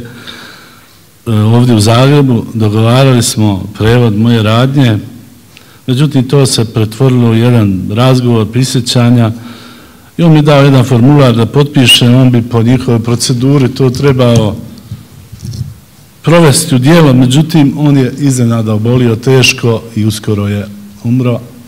Onda je došao rat i stvari su se spale u zaborav, poslije se e, toga niko nije sjetio, ja sam imao isto tako prečeg posla, ali vjerujem ako neko pronađe u njegovoj ostavštini nekakav e, e, formular, to će biti to. A sada na temu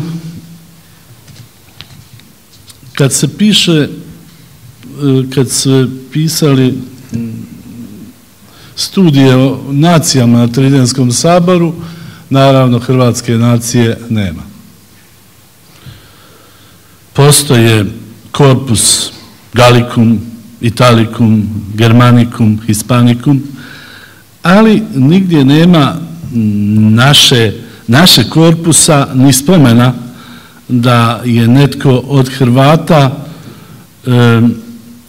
bio ili da smo mi kao nekakav zajednički korpus sudjelovali, čak i u najnovijim studijima, iako jedan biskup, to je biskup iz Pečuha, Cinque Chiese ili Kirchen, poslije zagrebački biskup i ban Juraj Drašković, sebe potpisao u završnim aktima Sabora kao Kroata. To je jedini Kroata koji se potpisao na e, završnim pergamenama Sabora ovi prije 450 godina. Ta, činjenica nas e, na neki način pita i danas zašto nismo i više ostvarili kad znamo da sudionici iz Hrvatskih danas što mi nazivamo crkvom Hrvata, bili su brojni i činili su u jednom momentu veliki dio sudionika na saboru i nije to bilo mali broj, ali su pripadali dakle po nekim mjerima Mađarima, Italijanima ili nekim drugima.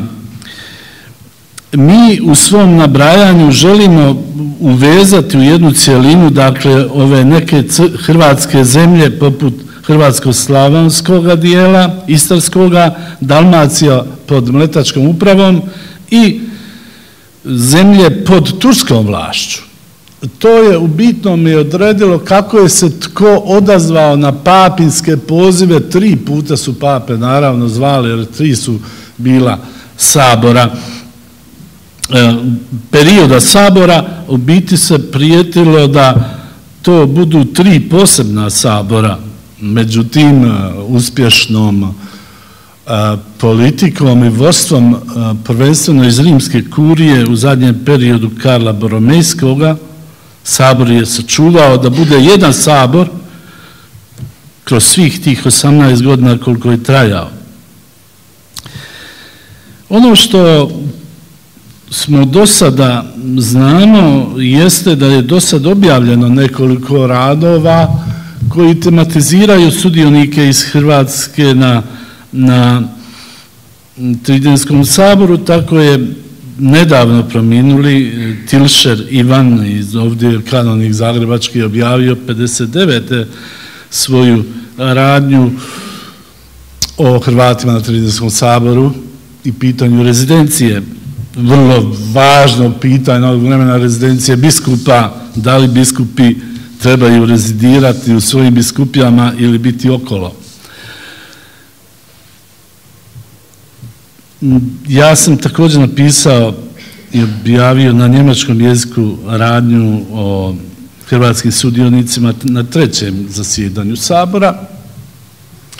Hubert Jedi, najveći povjesničar Sabora, je spomenuo da jedan Hrvat piše također radnju, zvao se Jakupčić, ja ne znam, njegove radnje nigdje nema, nije ni izišla, gdje je, što je, on je objavio jednu radnju, bilo bi interesantno vidjeti je li to čitljivo, doshvatljivo i šta je unutra, ja nisam imao.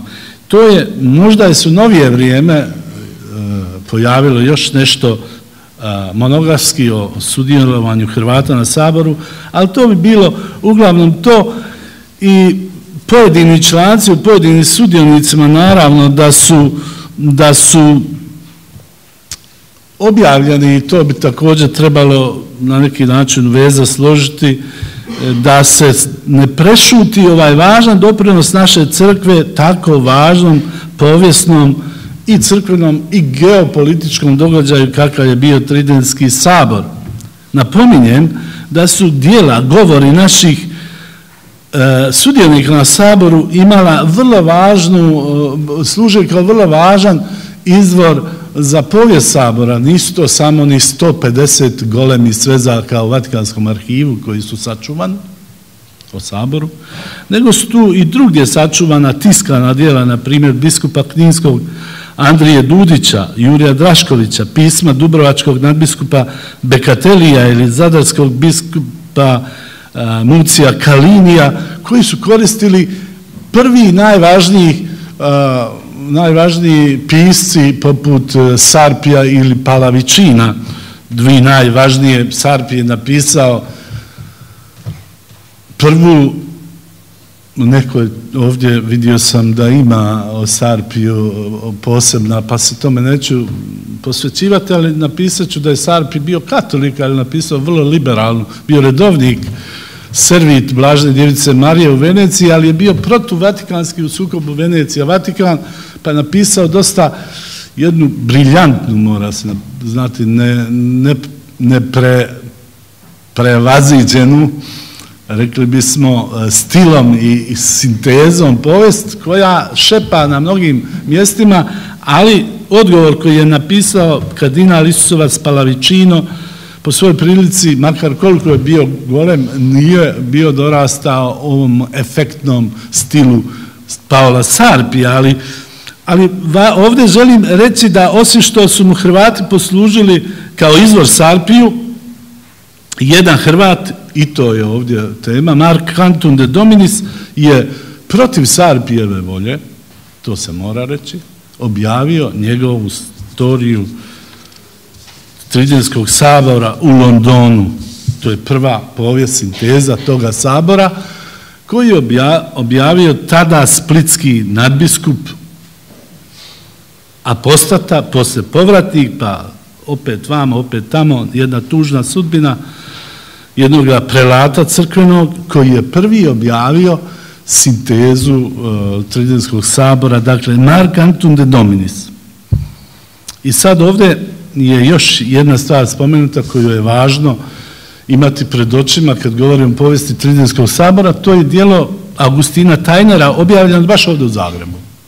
To je prva kritička kritički pristup vrelima. I Sarbi Palavičino su muljali sa izvorima ili su i djelomično ili su prilagođavali svojim svojim potrebama, svojim vizijama.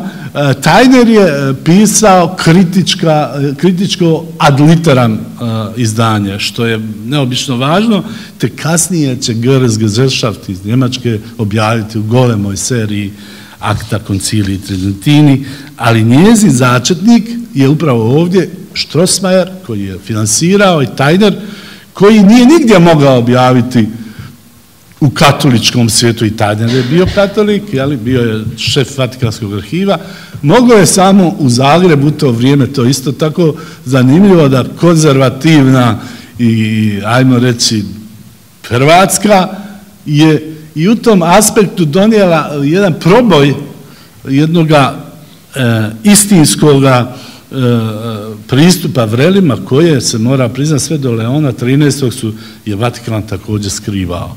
I upravo proboj koji je tajner ostvario ovim svojim izdanjem je neobično važan neobično važan u ukupnoj povijesti Tridenskog sabora, tako da će Hubert Jedin, najveći povjestičar sabora, koji je izdao ona golema četiri sveska, vrednovati ovaj, ovaj, ovo Tajnerovo dijelo kao nešto što je pokrenulo kritičku povijest e, Tridenskog sabora koju je on mogao napisati, koju će možda drugi dopisivati.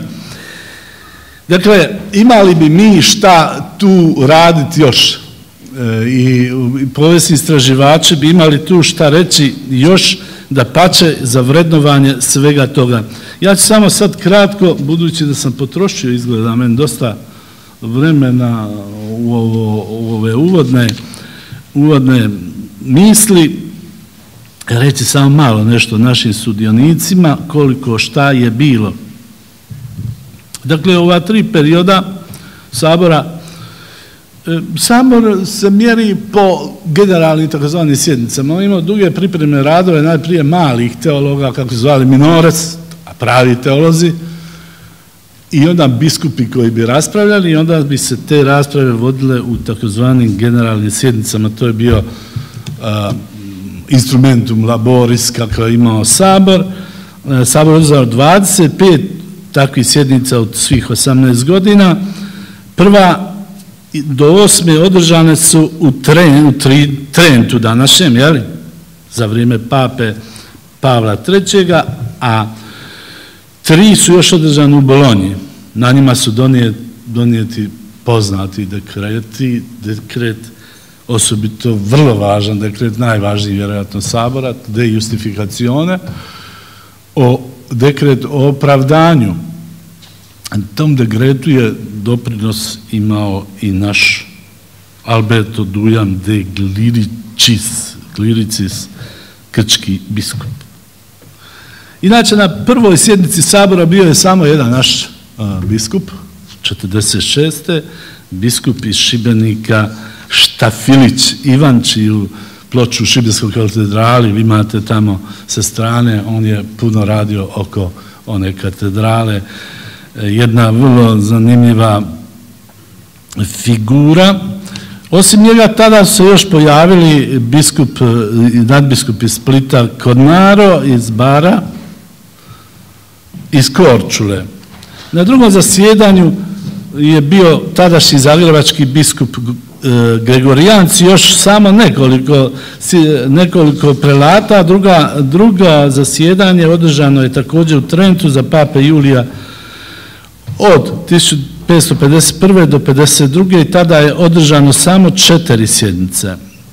Taj dio sabora je manje poznat, jedino je zapamćen po, manje poznat po svojim dekretima, jedino po uvođenju, najpoznatije po uvođenju na mise pape Marcelli od Palestrine koja je reformirala crkvenu glazbu. Nas osobito zanima i najvažnije treće zasjedanje sabora koje je održano eh, od eh, od 1561. Eh, do 63. za pape Pija četvrtog. Taj Pio četvrti Medici, Ivan Medici bio je jedno vrijeme i Dubrovački nadbiskup, međutim po onom običaju nije nikada došao do Dubrovnika, nego je upravljao preko svojih e,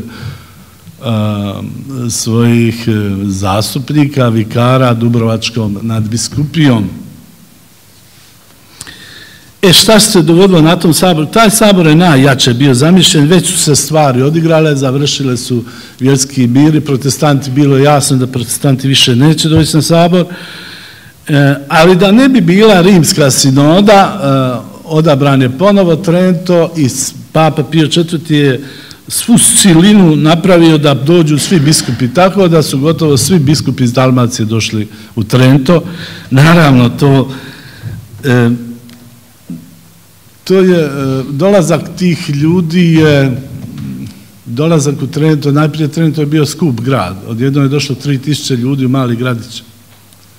Poskupilo je deset puta sve sobe, sve ostalo, naši nisu mogli financijski to izdržati, a onda su dobili pomoć od rimske kurije, međutim kad dobiješ pomoć malo si svezani ruku pa su bili malo zakinuti u nekim stvarima, ali ovi moćni poput Bekadelija iz Dubrovnika i ostali, oni su bili takozvani reformatori na saboru.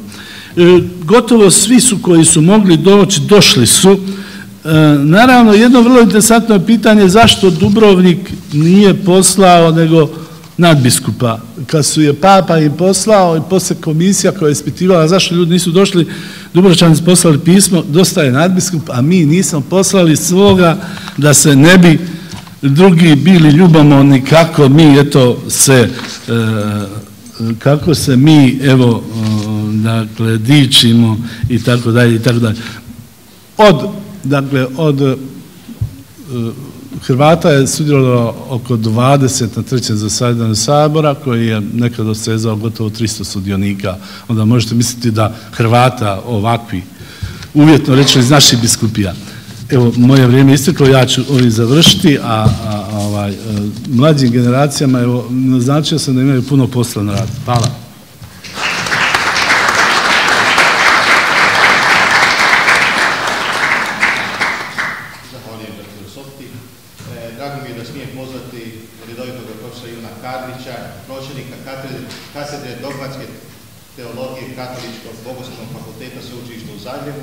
ali i vanjskog suradnika na Filozofskom fakultetu družbe Isusove.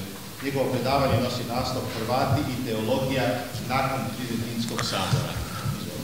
Hvala lijepa, poštovane dame i gospodo, kolegice i kolege. Sve pozdravljam naravno, zahvaljujem na pozivu za sudjelovanje.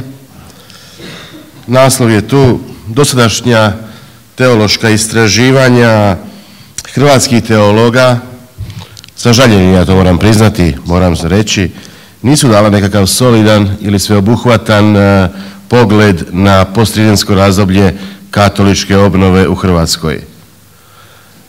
Doduše istraživanja i objavljivanja kvantitativno nisu oskudna, ali gotovo sve se svelo na ono fragmentarno i parcijalno, bez sveobuhvatnijega prikaza toga bogatoga i zanimljivoga teološkog razdoblja. Izuzetak je poveći prilog, ne čak ni knjiga, profesora Goluba, hrvatski teolozi 17. stoljeća. To kaže da kasniji hrvatski teolozi sve do danas zaslužuju, odnosno zaslužujemo opravdanu kritiku.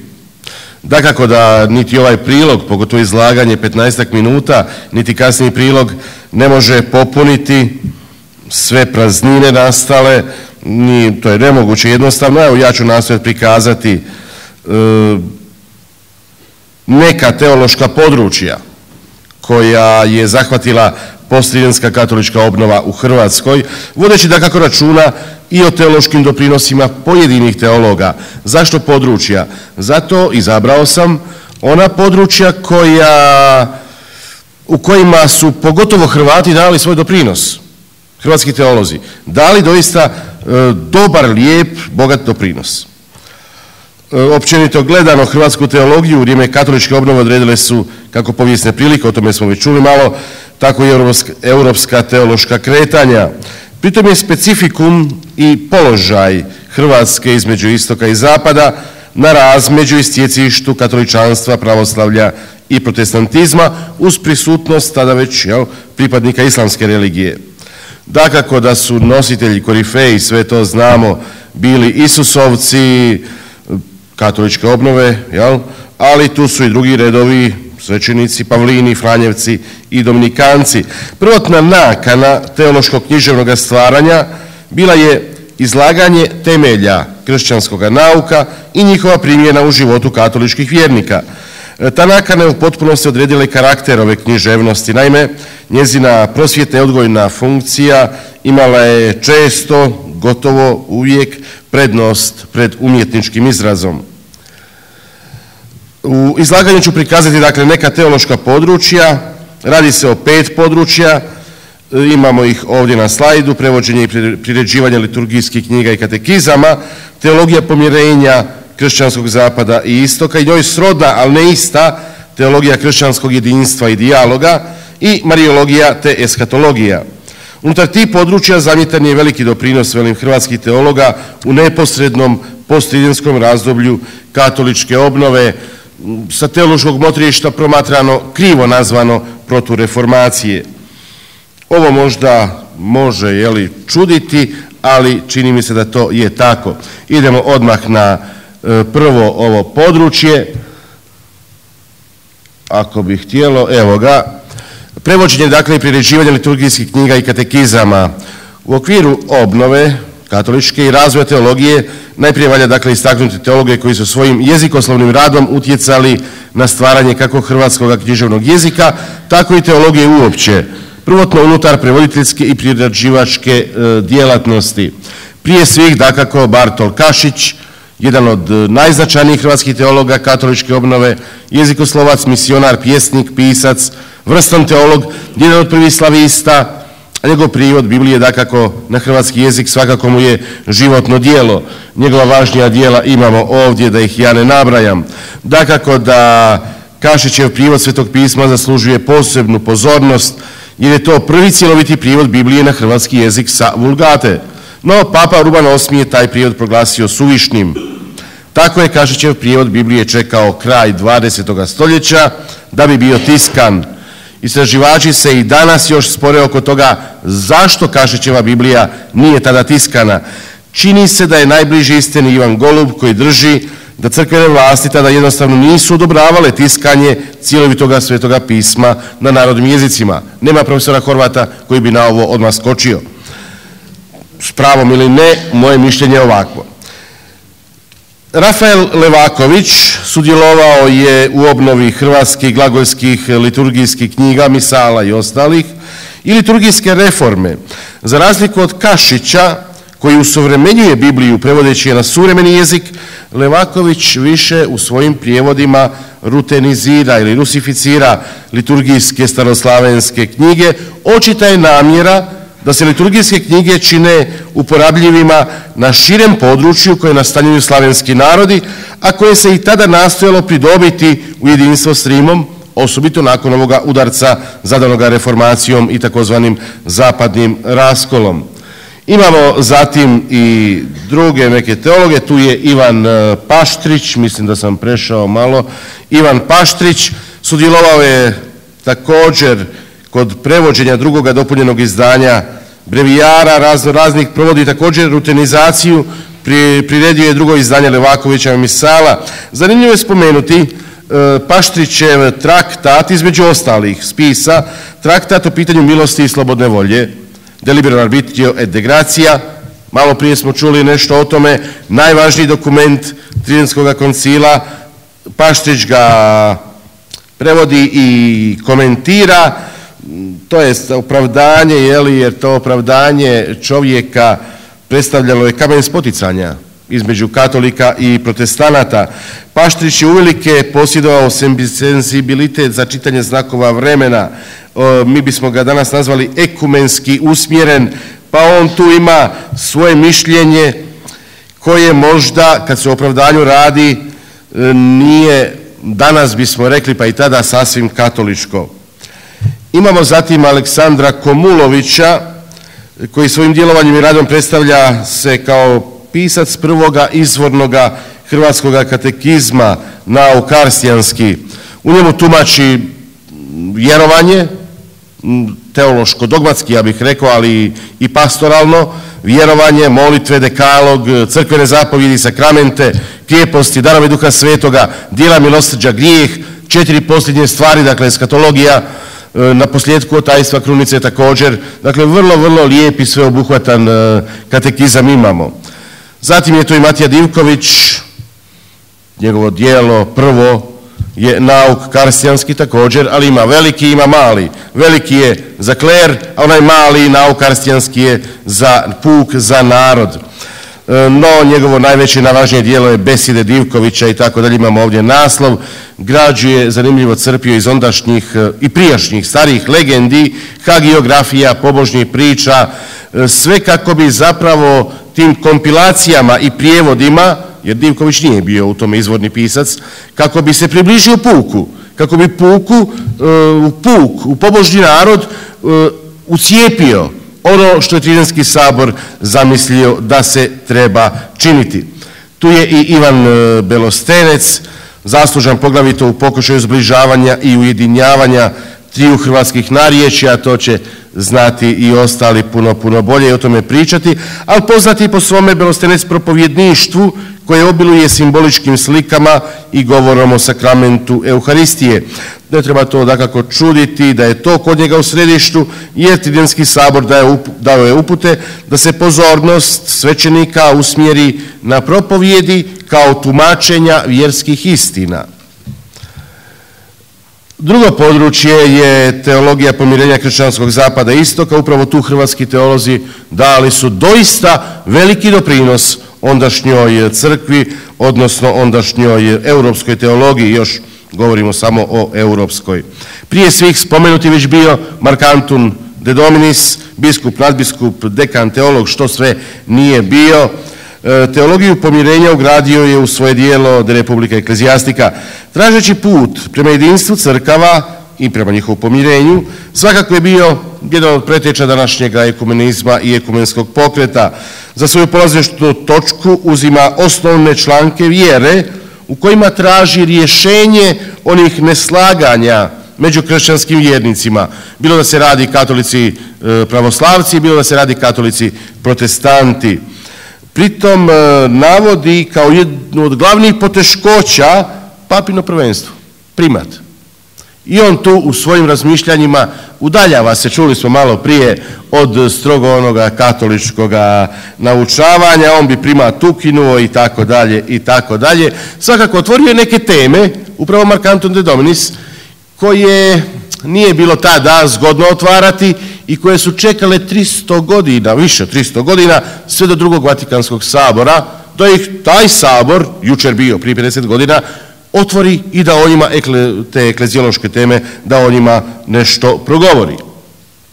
Imamo zatim e, Jurija Križanića, kojega treba promatrati dakako sa više strana, svakako i kroz teologiju pomirenja, zbog njegova neumorna nastojanja oko crkvenog jedinstva, a značajno je njegovo političko djelovanje, njegovo e, zalaganje za socijalnu pravdu i za ravnopravnost žena.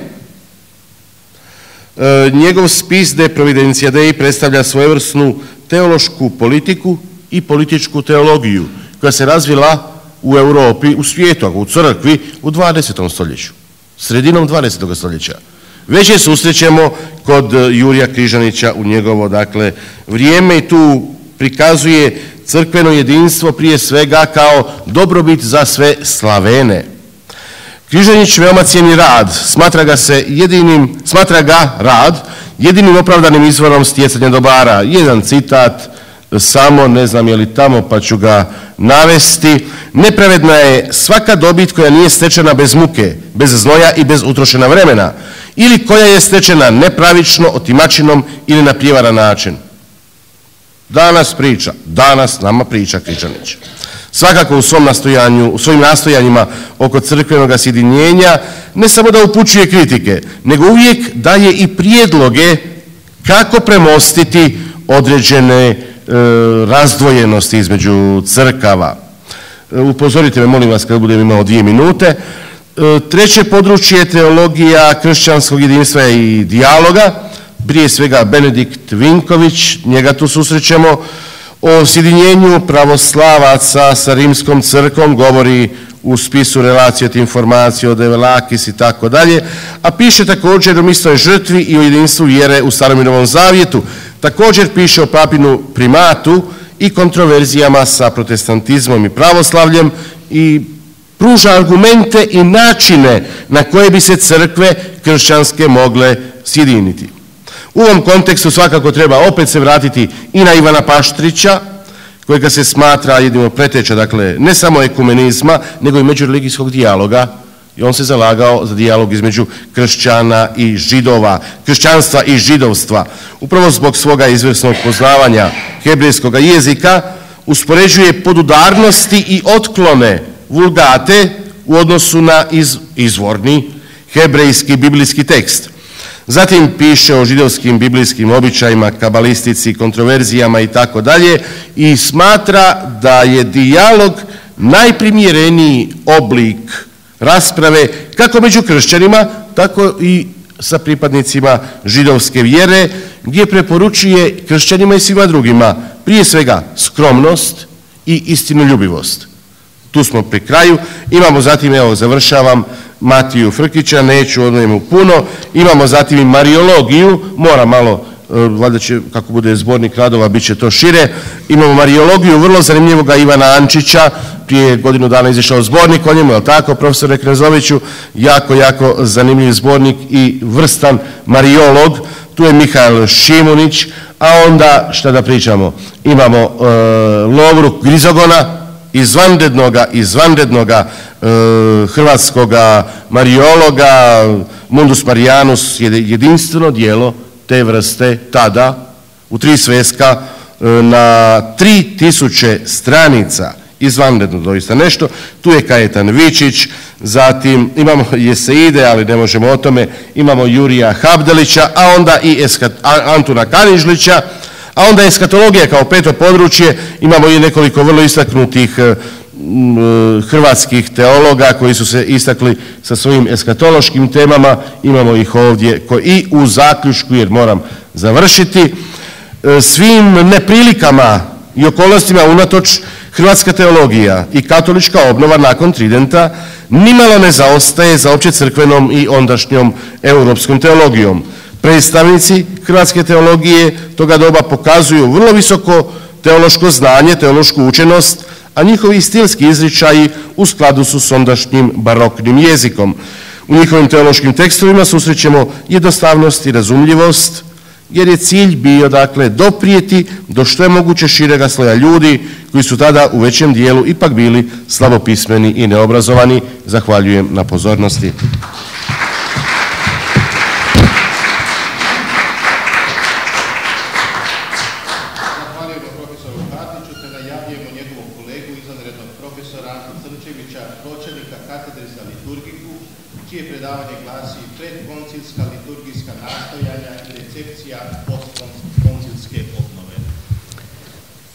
Hvala lijepo.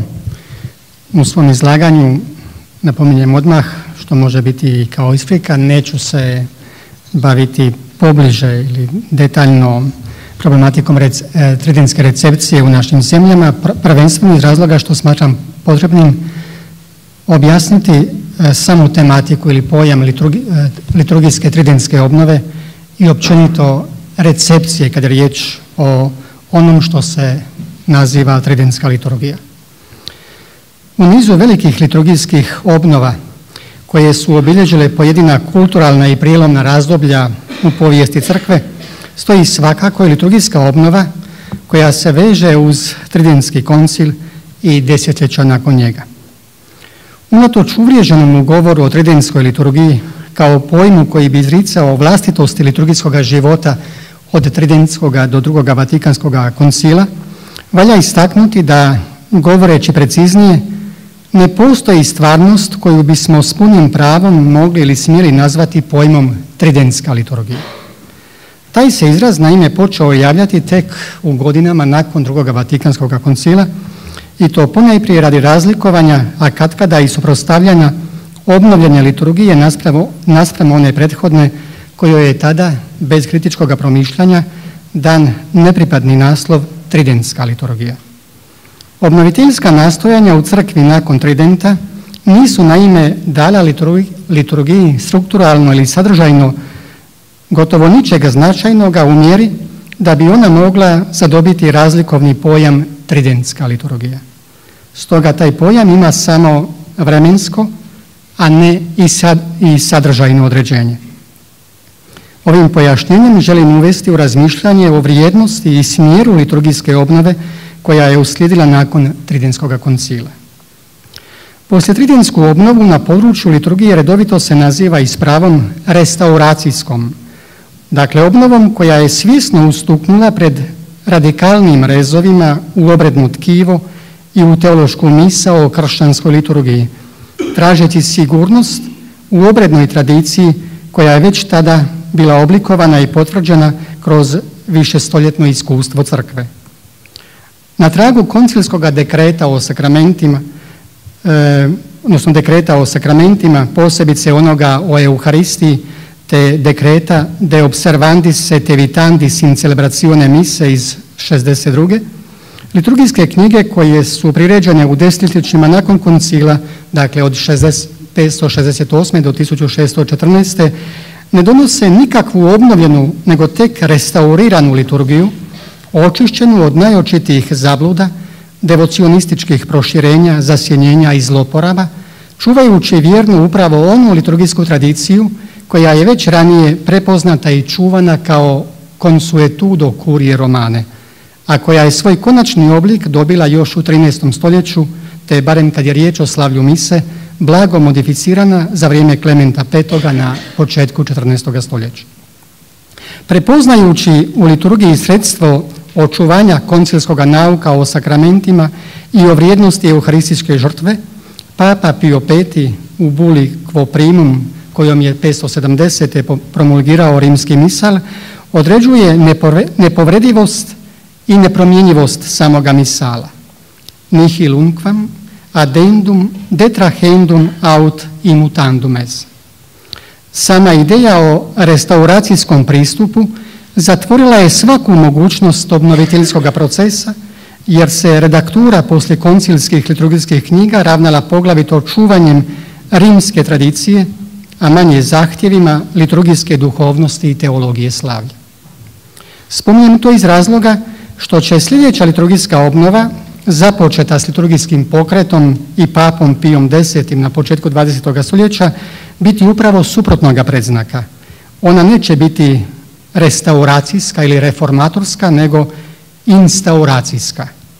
U tom će duhu i konstitucija o liturgiji drugog Vatikanskog sabora svjesno izbjeći pojam reformare ili reforma. Ne nalazimo nigdje u konstituciji pojam reformare ili reforma, nego se govori o zadaći instaurare liturgijam, to jest učiniti liturgiju da bude stauros. U instaurare nalazimo e, etimologijom riječ stauros, dakle stup ili stožar, to jest da liturgija bude stožar ili središte iz kojeg izvre život crkve.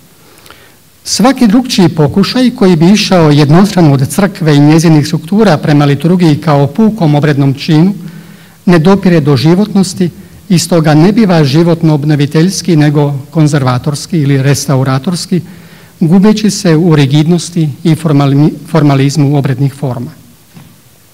Upravo se to dogodilo velikim dijelom s liturgijom u desetljećima nakon Tridentskog koncila. Radikalizacija u restauracijskom nastojanju i odbijanju svakoga drugčijega gledanja na liturgiju zatvorila je vrata i snažnim liturgijsko-obnoviteljskim zahvatima koji su već bili zaživjeli u desetljećima prije koncila. Spominjem radi ilustracije samo dva predkoncilska zahvata odabrana zbog različitih okruženja u kojima su nastala. Prvi se iščitava u dijelu Libellus ad Leonem Decimum, koje su dvojica kamaldoležana Vincenzo Quirini i Tomazo Giustiniani u vrijeme u ime Muranskog kruga, kruga te dakle Muranskog kruga laika i obrazovanih venecijanskih patricija godine 513. dakle pred točno 500 godina predstavili papu Leonu X na početku njegova pontifikata zahtijevajući da započeti peti lateranski koncil provede sveobuhvatnu obnovu crkve. U njihovim prijedlozima između ostaloga nalazimo, nalazimo smjernice za izobrazbu klera i laika, za prijevod svetoga pisma i liturgijskih knjiga na govorne jezike, za uvođenje narodnog jezika u liturgiju te za širu preradu liturgijskih knjiga i crkvenog zakonodavstva. U tekstu toga, danas bismo rekli u aktualnosti trenutka, u tom otvorenom pismu papi, kroz analizu stanja u crkvi i društvu, te kroz zahtjeve koji su plod novoga misaonoga kretanja, zamjećuje se već tada smjeli odmak od renesansnog zanosa za znanjem i antropocentričnim viđenjem svijeta, te se prepoznaje preusmjeravanje obnove lica crkve na njezino unutarnje biće, poglavito na liturgijski život. Premda se sam koncil nije izravno bavio liturgijskim temama, duh koji su Giustinijani i Kvirini razbudili, uskoro je pokrenuo smjelije zahvate u obnovi liturgijskih knjiga. Tako je Dominikanac Castellani 1520. priredio Pontificale Romanum, a 23. Liber Sacerdotalis. Nakon ovoga primjera koji pokazuje obnoviteljska kretanja u laičkim i eremitskim krugovima, spomenjem primjer koji dolazi iz kurijalnih krugova. Riječ je o djelovanju kardinala Francesca Quinoneza koji je 535. priredio novi breviarium romanum u čijoj se strukturi može razvidno iščitati niz novina koje su bile nadahnute idejama Kvirinija i Justinijanija, ali i idejama koje se čitaju u ranim Luterovim spisima. Kinjenez je strukturu brevijara, brevijara oslonio poglavito na svetopisamske tekstove, oslobodivši ga uvelike opterećenosti svetačkim slavljima i tekstovima svetaca, te davši snažan naglasak svetim vremenima, kao ritmu življenja Kristova otajstva. Bio je to radikalan tada rez u strukturu i duh liturgije, tada uvelike zatomljene u devocionizam. Obnoviteljski zamah koji, je polučila ta liturgijska knjiga razvidan je u činjenici da je ona već kroz prvu godinu doživjela 11 izdanja, a sljedeće godine je bilo revidirano izdanje koje je kroz 30 godina, dakle do 568. kada je izdan e, poslije koncilski brevijar doživjela preko stotinu izdanja u Rimu, Veneciji, Parizu, Antwerpenu, Kölnu i drugdje. Taj zamah obnove koja je otvarala prostor zajedništvu crkve ipak je nešetno prevladan i velikim dijelom prekinut novim smjerom koji je u duhu poslije tridenske obnove vratio stari pečat liturgiji crkve. Nove liturgijske knjige, priređene nakon tridenta, dokidajući velikim dijelom ono što nije starije od 200 godina, vraćaju liturgijski život na ono što, je, što se započelo sustavno obnavljati nekoliko desetljeća ranije. Razloge možemo tražiti u svojevrsnom apologetskom stavu te u strahu koji se uslijed novih podjela osjećao u ono doba. Ipak, nove liturgijske knjige ne skrivaju potrebu i želju za obnovom liturgije, ali ta obnova uglavnom smjera prema didaktičkoj zadaći liturgije naspram života vjernika, te prema apologetskoj zadaći liturgije u odnosu na vjeru i nauk crkve. To se iščitava također iz redoslijeda kojim su priređivane obnovljene knjige. Najprije izdan katekizmus ad parokos 66.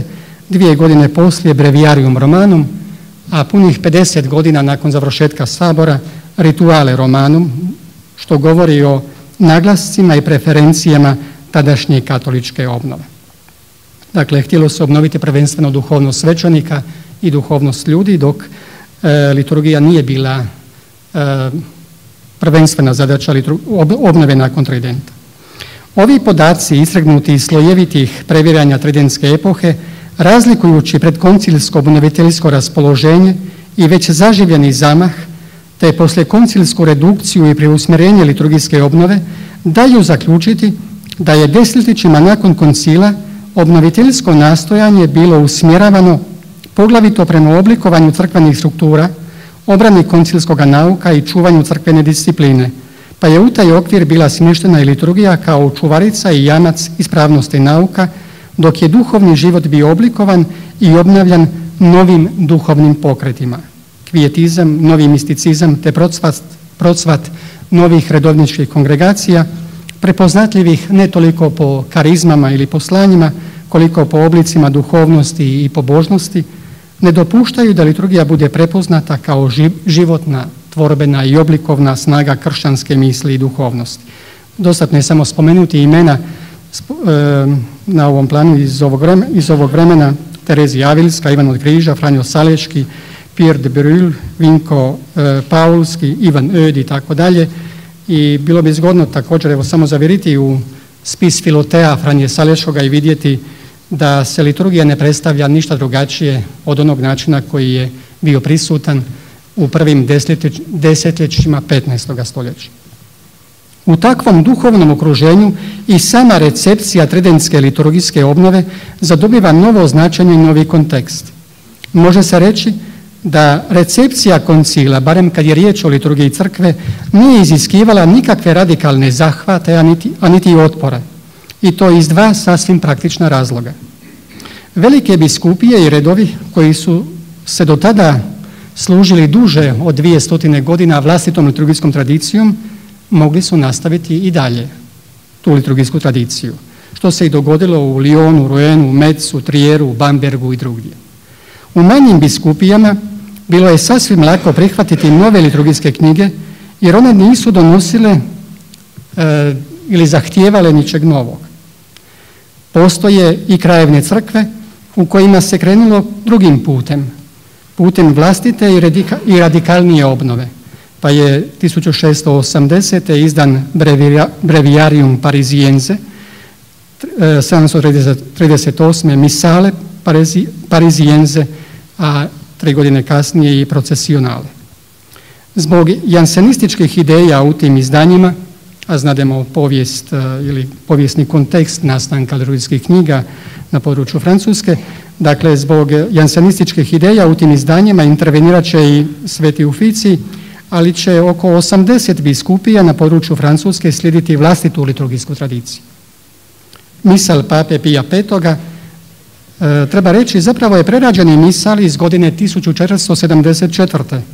A sam red mise jest onaj, e, dakle, ordo mise kurije romane iz 13. stoljeća. Ono što, se, što je važno ovdje reći jest da su nove knjige zadobile mahom naslov rimski. Misale romanum, breviarium romanum, pontificale rituale, martirologium, dakle svi nose odrednicu romanum, čime se htjela istaknuti briga, briga oko jedinstva rimske liturgijske discipline, na čim je bdjela novoosnovana kongregacija Ritum 588. U našim je zemljama rimska liturgijska tradicija već bila dobrano zaživjela, što svjedoči i prvotisak misal po zakonu rimskog dvora iz 483.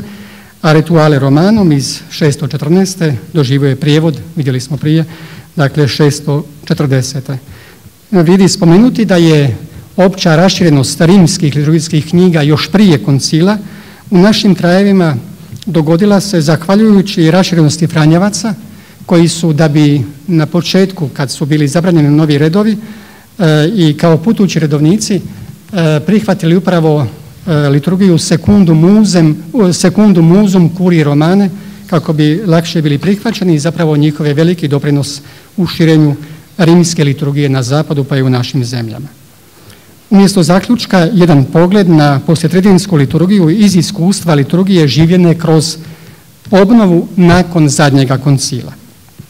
Promjene koje su se u liturgiji, liturgiji dogodile kroz zadnjih nekoliko desetljeća, a koje su obilježile postupan prijelaz od individualističkoga prema komunitarnom oblikovanju liturgije, od ritualističkoga prema obredno-simboličkomu i od anabazičkoga prema katabazičkom teološkom vrednovanju, svoje nadahnuće tražile su poglavito u liturgiji prvih kršćanskih stoljeća, koju nazivamo liturgija romana pura.